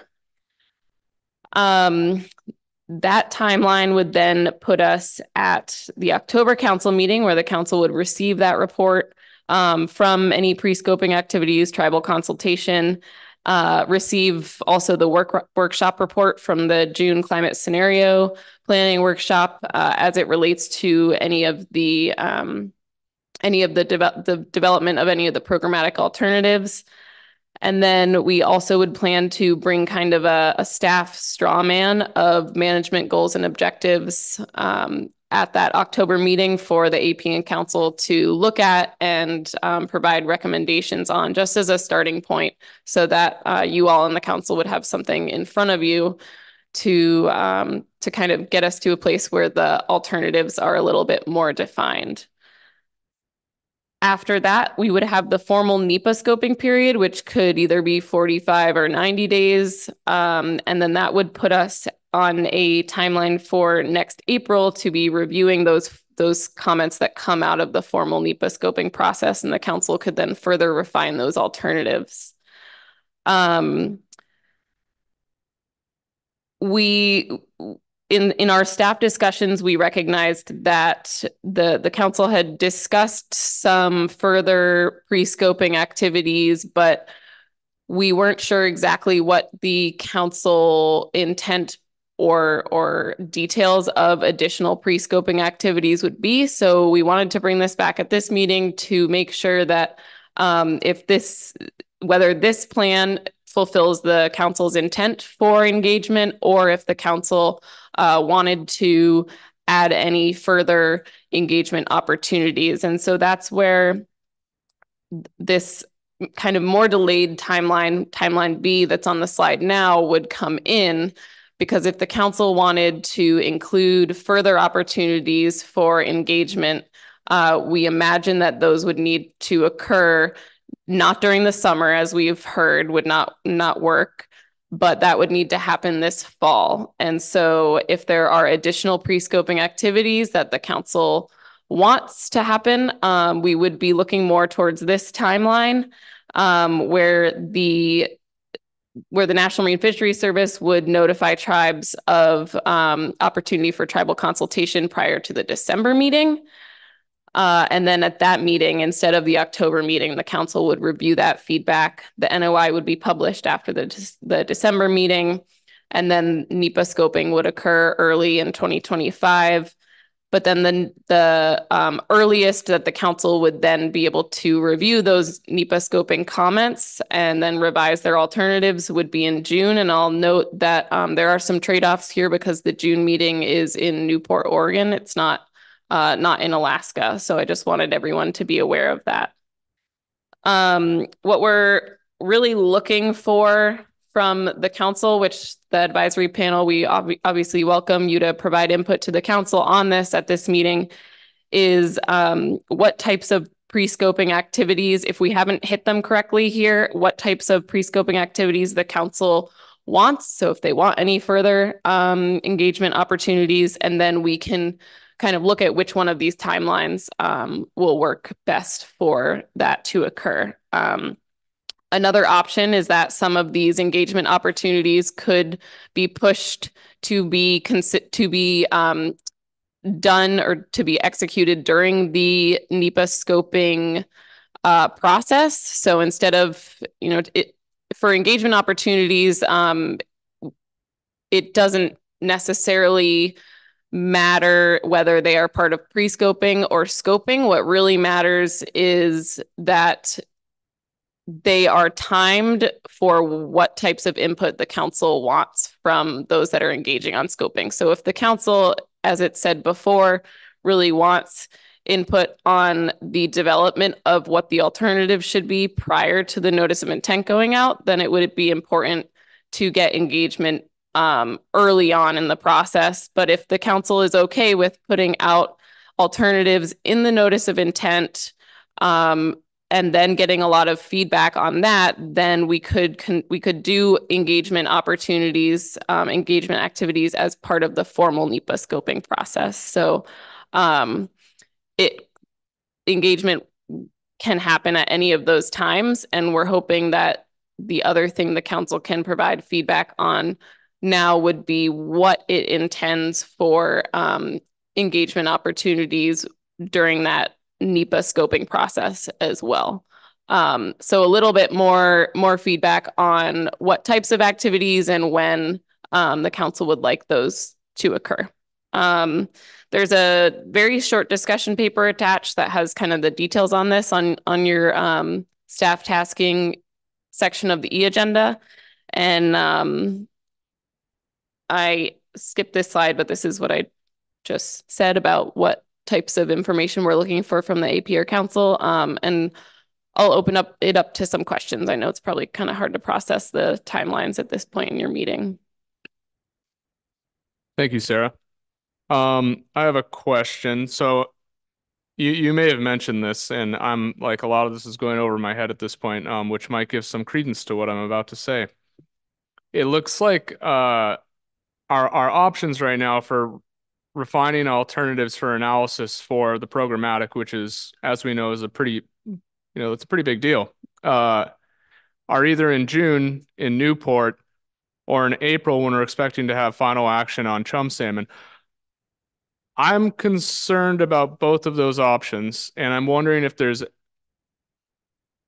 are there are there any other options? Because I, like I said, if we do it when when we have the same time as final action on chum salmon, we can expect a lot of public engagement on both of those, which would be great. But I'm thinking about capacity for uh, a meeting itself, how long a meeting can run, and also just capacity for for AP members and council members to to really have robust discussions. Um, you know, I hate to admit it, but I, I do think that people have limits on on how much they can think in a week.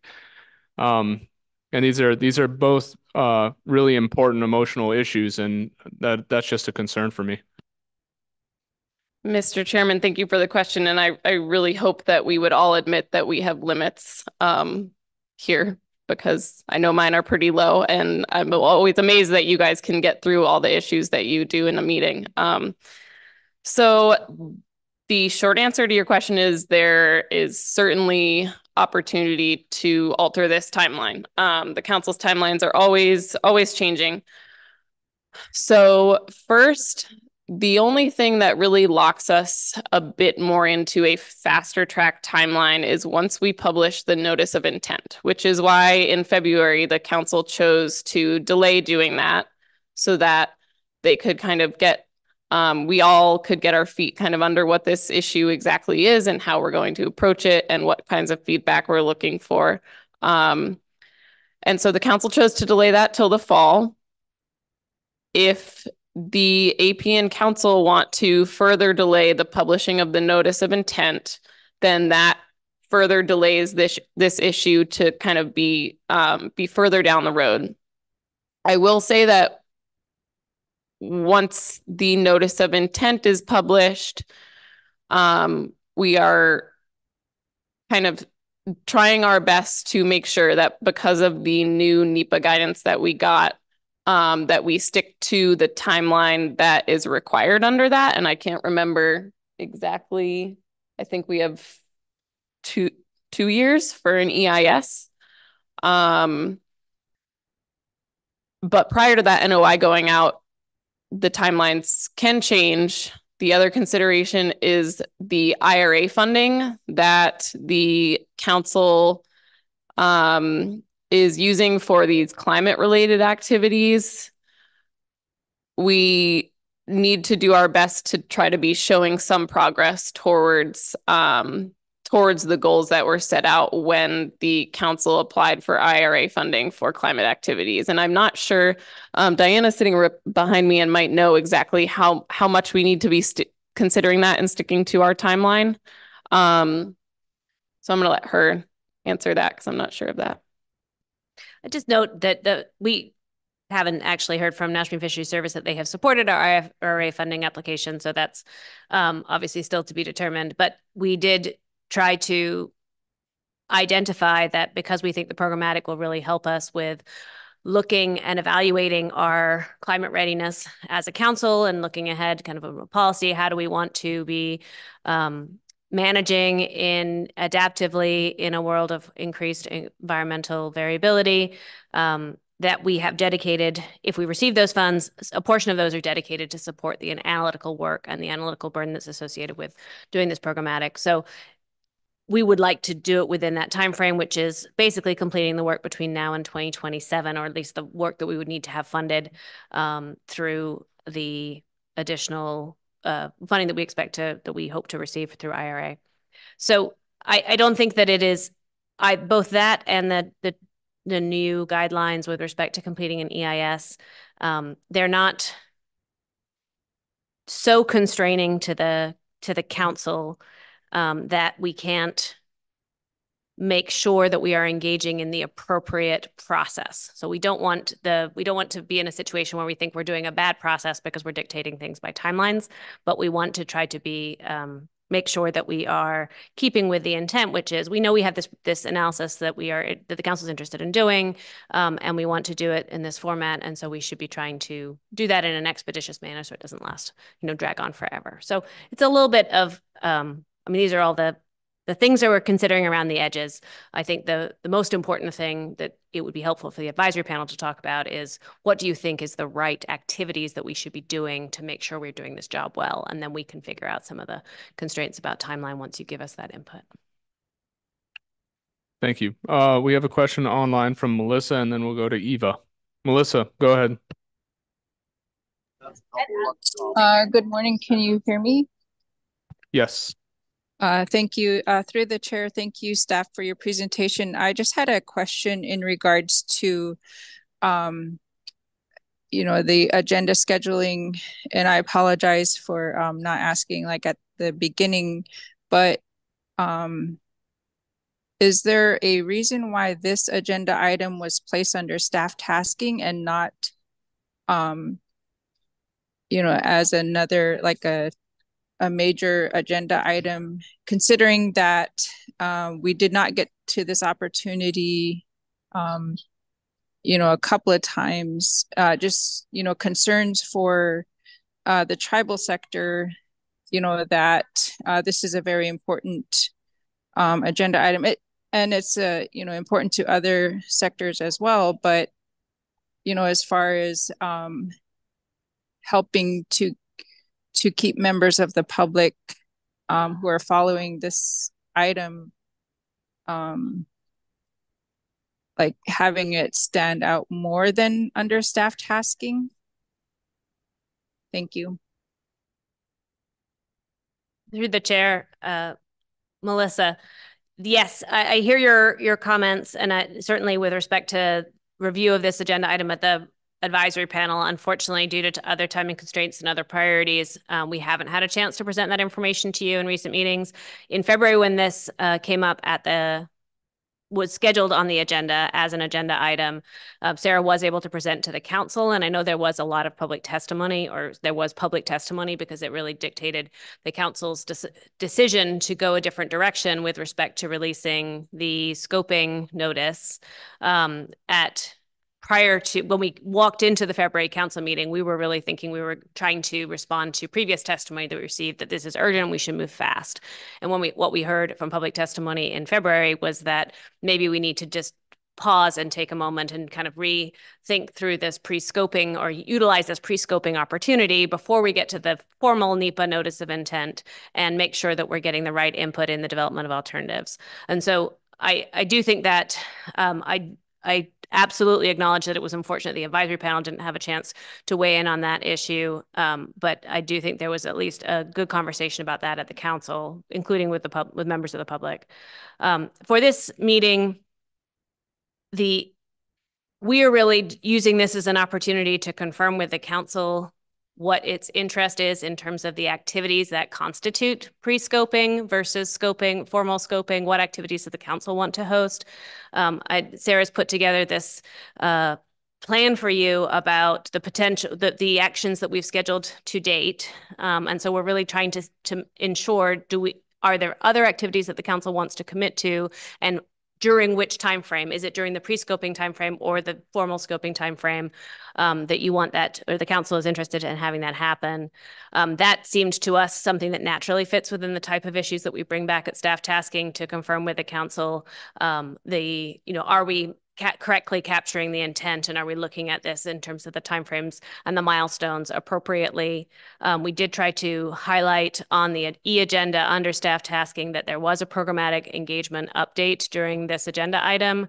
Um, but that was really the reason for scheduling it. It certainly wasn't intended to disenfranchise anybody. It's just the action for the council. This could be inform informational for the council if the council is comfortable with the degree uh, or the, the activities that have been planned to date, or the council could direct us to do other actions and we'd be happy to obviously um, pursue or schedule or um, you know respond to the council however is appropriate but that was our logic um, for putting that under under under the e agenda item it wasn't intending to bury this or to provide a less public focus and um, if that was the outcome that was unintended, we can certainly address that going forward.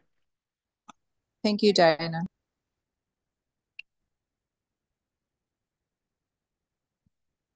Eva. Uh, thank you through the chair.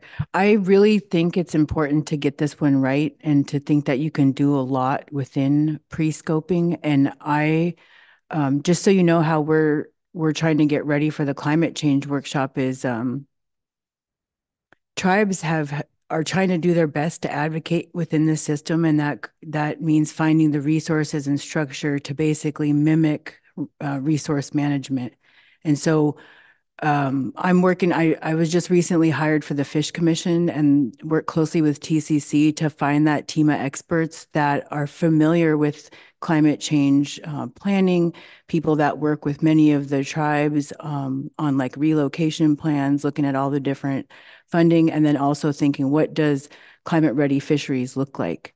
And also from my perspective, um, really wanting to analyze some of the science that is going into this and what things are uh, looking like. I put a lot of stuff on the record yesterday about my concerns with some of the science that's been done, the, the data that could have been collected but has not been collected.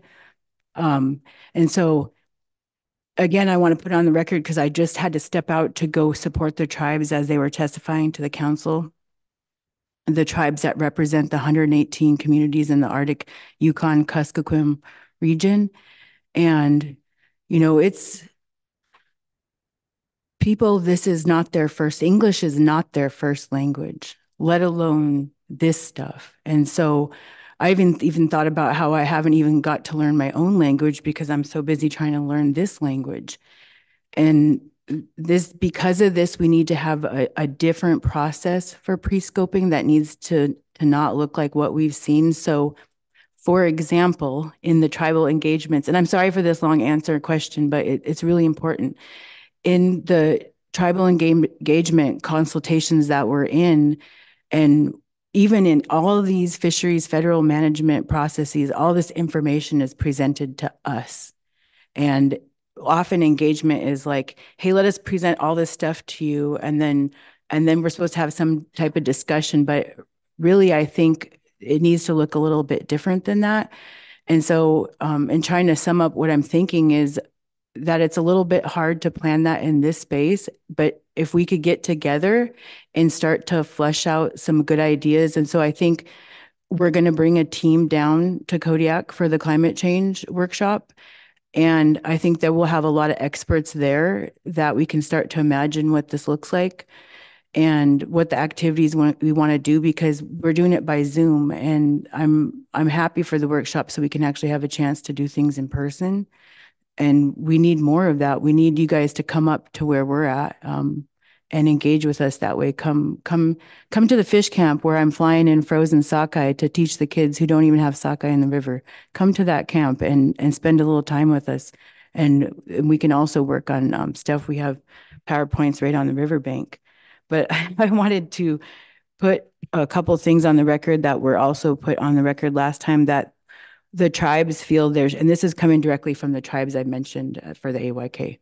Uh, there should be a, and before I get into this, this this whole thing initiated because of stuff from allies that we work with that hadn't communicated with us on our capacity to take something like this on. So eh, there's been a lot of pushback from the tribes out. Yeah, we do need to do this, but we need to do it right. So let's not rush. And that's one thing that I've seen in this entire process is everybody's trying to digest so much freaking information that we're literally rushing. And I, and from my perspective as an indigenous person who has you know, we've been passing down knowledge for 11,000 years about Alaska, and people come up here and start collecting data in a, a state this size and pretend like they're experts. It's really offensive. So we really um, would like to see better with that. um, you know, so we want a hard pause in order to reset things regarding the PEIS onto a proper footing. And the filing of the notice of intent should be held off until such footing is achieved. The PEIS process now is not clear with widespread confusion that it is not improving. It isn't aligned with the proper consideration of tribes, and where things are now is largely divorced from prior work on this. This is not a good place from which to proceed, especially for something that will have a countdown associated with it that will create significant constraints once a notice of intent is issued. This process must be deliberative, well planned, and constitute progress. This work should build upon successes of the past and move federal fishery management forward. We need a deliberative and productive pause to help ensure such a, an approach can be achieved. Work moving forward needs to understand what achievements have been made and how they should be maintained. Additionally, it is necessary at the outset to develop an understanding of what has not worked and why that is the case. For example, why did various significant elements of the existing groundfish fisheries management plan have insufficient progress? There are significant issues which should have been included at a baseline for moving forward, but are currently not. For example, a reasonable range of alternatives and comprehensive goals and objectives, consideration of a precautionary approach to management, a robust engagement and consultation strategy for working with tribal entities, and a commitment to tribal co-management and co-stewardship. So um, I'm sorry for these long comments. So Thank you for listening. And I appreciate Brian asking your question because it was going to be my next question. Um, and it's really important to consider that we are building our, our crew and we're going to have be eyeballs deep into the chum salmon um, and getting ready for October. And so we're going to do our best to to take this June stuff on, but there's going to be, as you can imagine, that's the timeline could shift. It could be paused. And it sounds like from your funding, it, maybe it should be.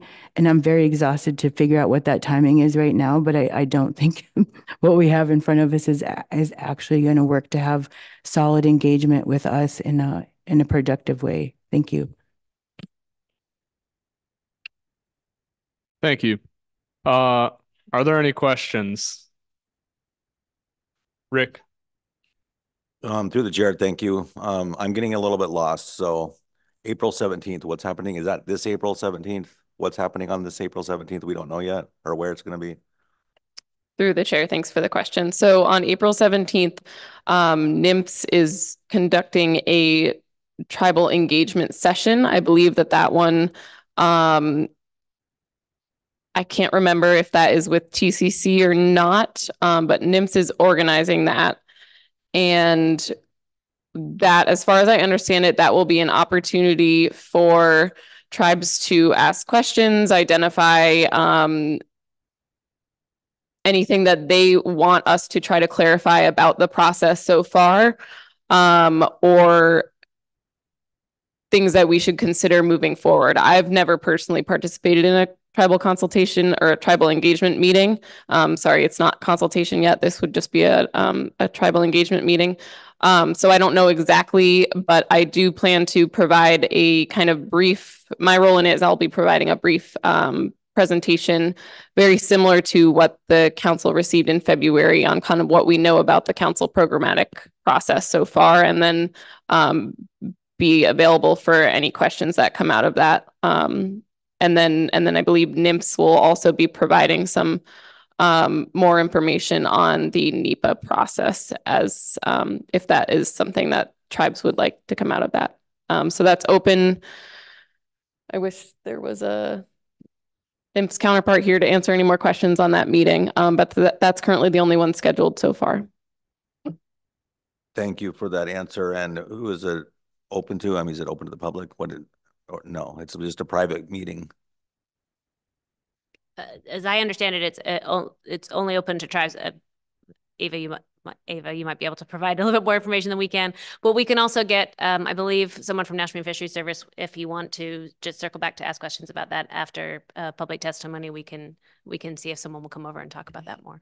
But Yes, thank you through the chair. Yes, we tried to keep the engagement to our tribal invited tribal representatives only. Um, just we do have structure as far as like chiefs, um, fish commissioners, technical experts, consultants. So we do try to have a planned team in the room in our engagement. And from my understand, uh, well, let me rephrase that for the consultation. Now, the engagement might have um, opportunity for other people to be there. I'm not quite sure about that part. I'd have to double check. Okay, thank you both for your answer. I just thought maybe it'd be an opportunity for some more pre-scoping, you know, to happen. More people. Thanks. Thank you. Any other questions? I'm not seeing any. Uh, with that, we only have one person signed up for public testimony. I'd like to move to public testimony and then see if we have any motions.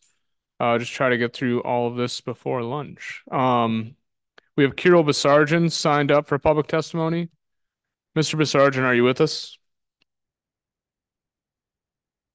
Hi. Uh, yes, I am. Good morning. Uh, can you guys hear me okay?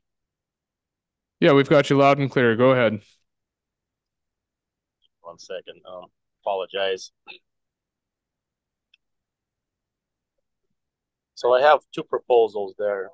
I'm submitting again uh, that I submitted in uh, December and the January meeting proposing the uh, online slinky pot. We're asking for support from the AP to move this forward.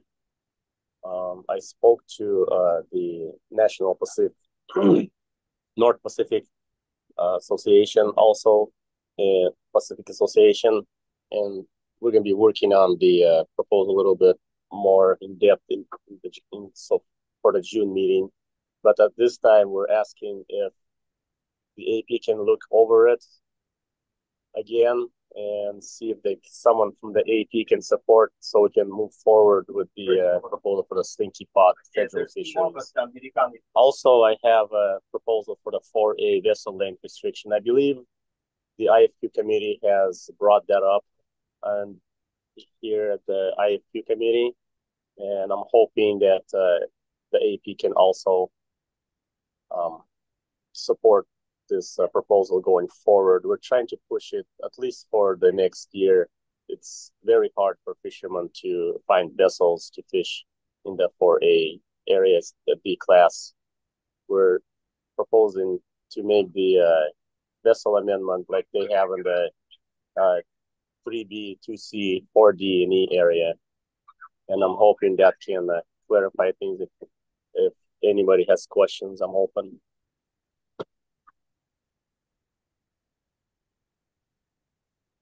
Thank you, Carol. Does uh does the AP have any questions?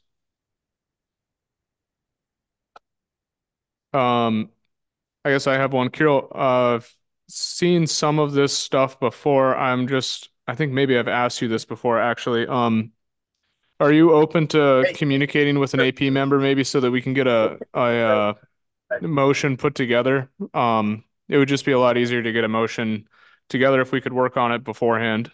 Um, I'm in town there if you if you want to talk sometime. Yes, that'll that that would help um, greatly for us. If someone can step in and help us with that, that would be greatly appreciated. All right, thanks, Carol. Uh, yeah, we'll try to link up once I get back to town. Um, Okay, sounds good. Thank you so much for that. Appreciate it. any other questions? Carol, I'm not seeing any. Uh, thank you for your testimony. I'll see you soon. Okay, appreciate it. Okay. Good evening. Thank you for all your time. Thank you. Um, that concludes public testimony. Uh, with that, do we have any staff tasking motions? Susie? All right, since there's no other staff tasking motions, I move to approve the February twenty twenty-four AP minutes. Thanks, and I move to adjourn the April twenty twenty-four meeting. All right, thank you, everyone. That will conclude our April twenty twenty-four meeting. Thanks to staff uh, for all the hard work and members of the public for engagement. Thanks to the AP for working so hard on all this. Good work. Oh, wait, we've got Emily here to help us with uh, that NMFS question that we had. Oh, please, please fill us in. Yeah, it would be helpful. Thanks, Mr. Chair. Uh, so it's through the chair. It's my understanding there was a question that came about with the tribal engagement sessions. Are they associated with the programmatic EIS or the chum bycatch? I guess that's my clarifying question first. EIS.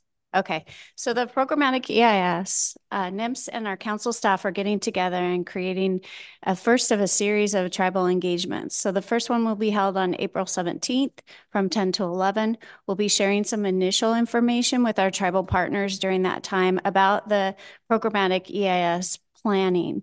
Um, we don't have all information that's needed in order to um, fully paint a picture. It's it's in the works, but that'll be the first of the discussions.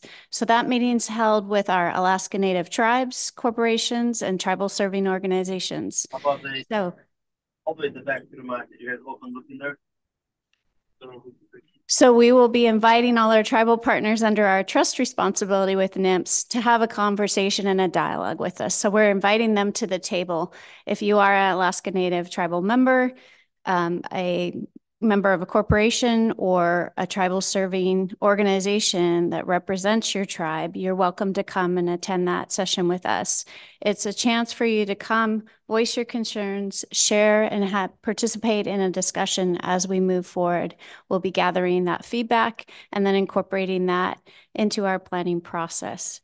So um, the next available date, we've heard from the Tanana Chiefs Conference that April 17th doesn't work. And I'm looking at Eva, she's nodding. So we are working on a May 6th date. We haven't firmed that up. It's not official. So um, please stay tuned for the next announcement from NMFS on the tribal engagement um, planning sessions. Thank you. Does anyone have any questions? All right, now it's over. All Thank right. you very much. Thank you, Mr. Chair. Uh, don't forget to send in your, your rationale and to, uh, oh, yeah, and to approve. Thanks.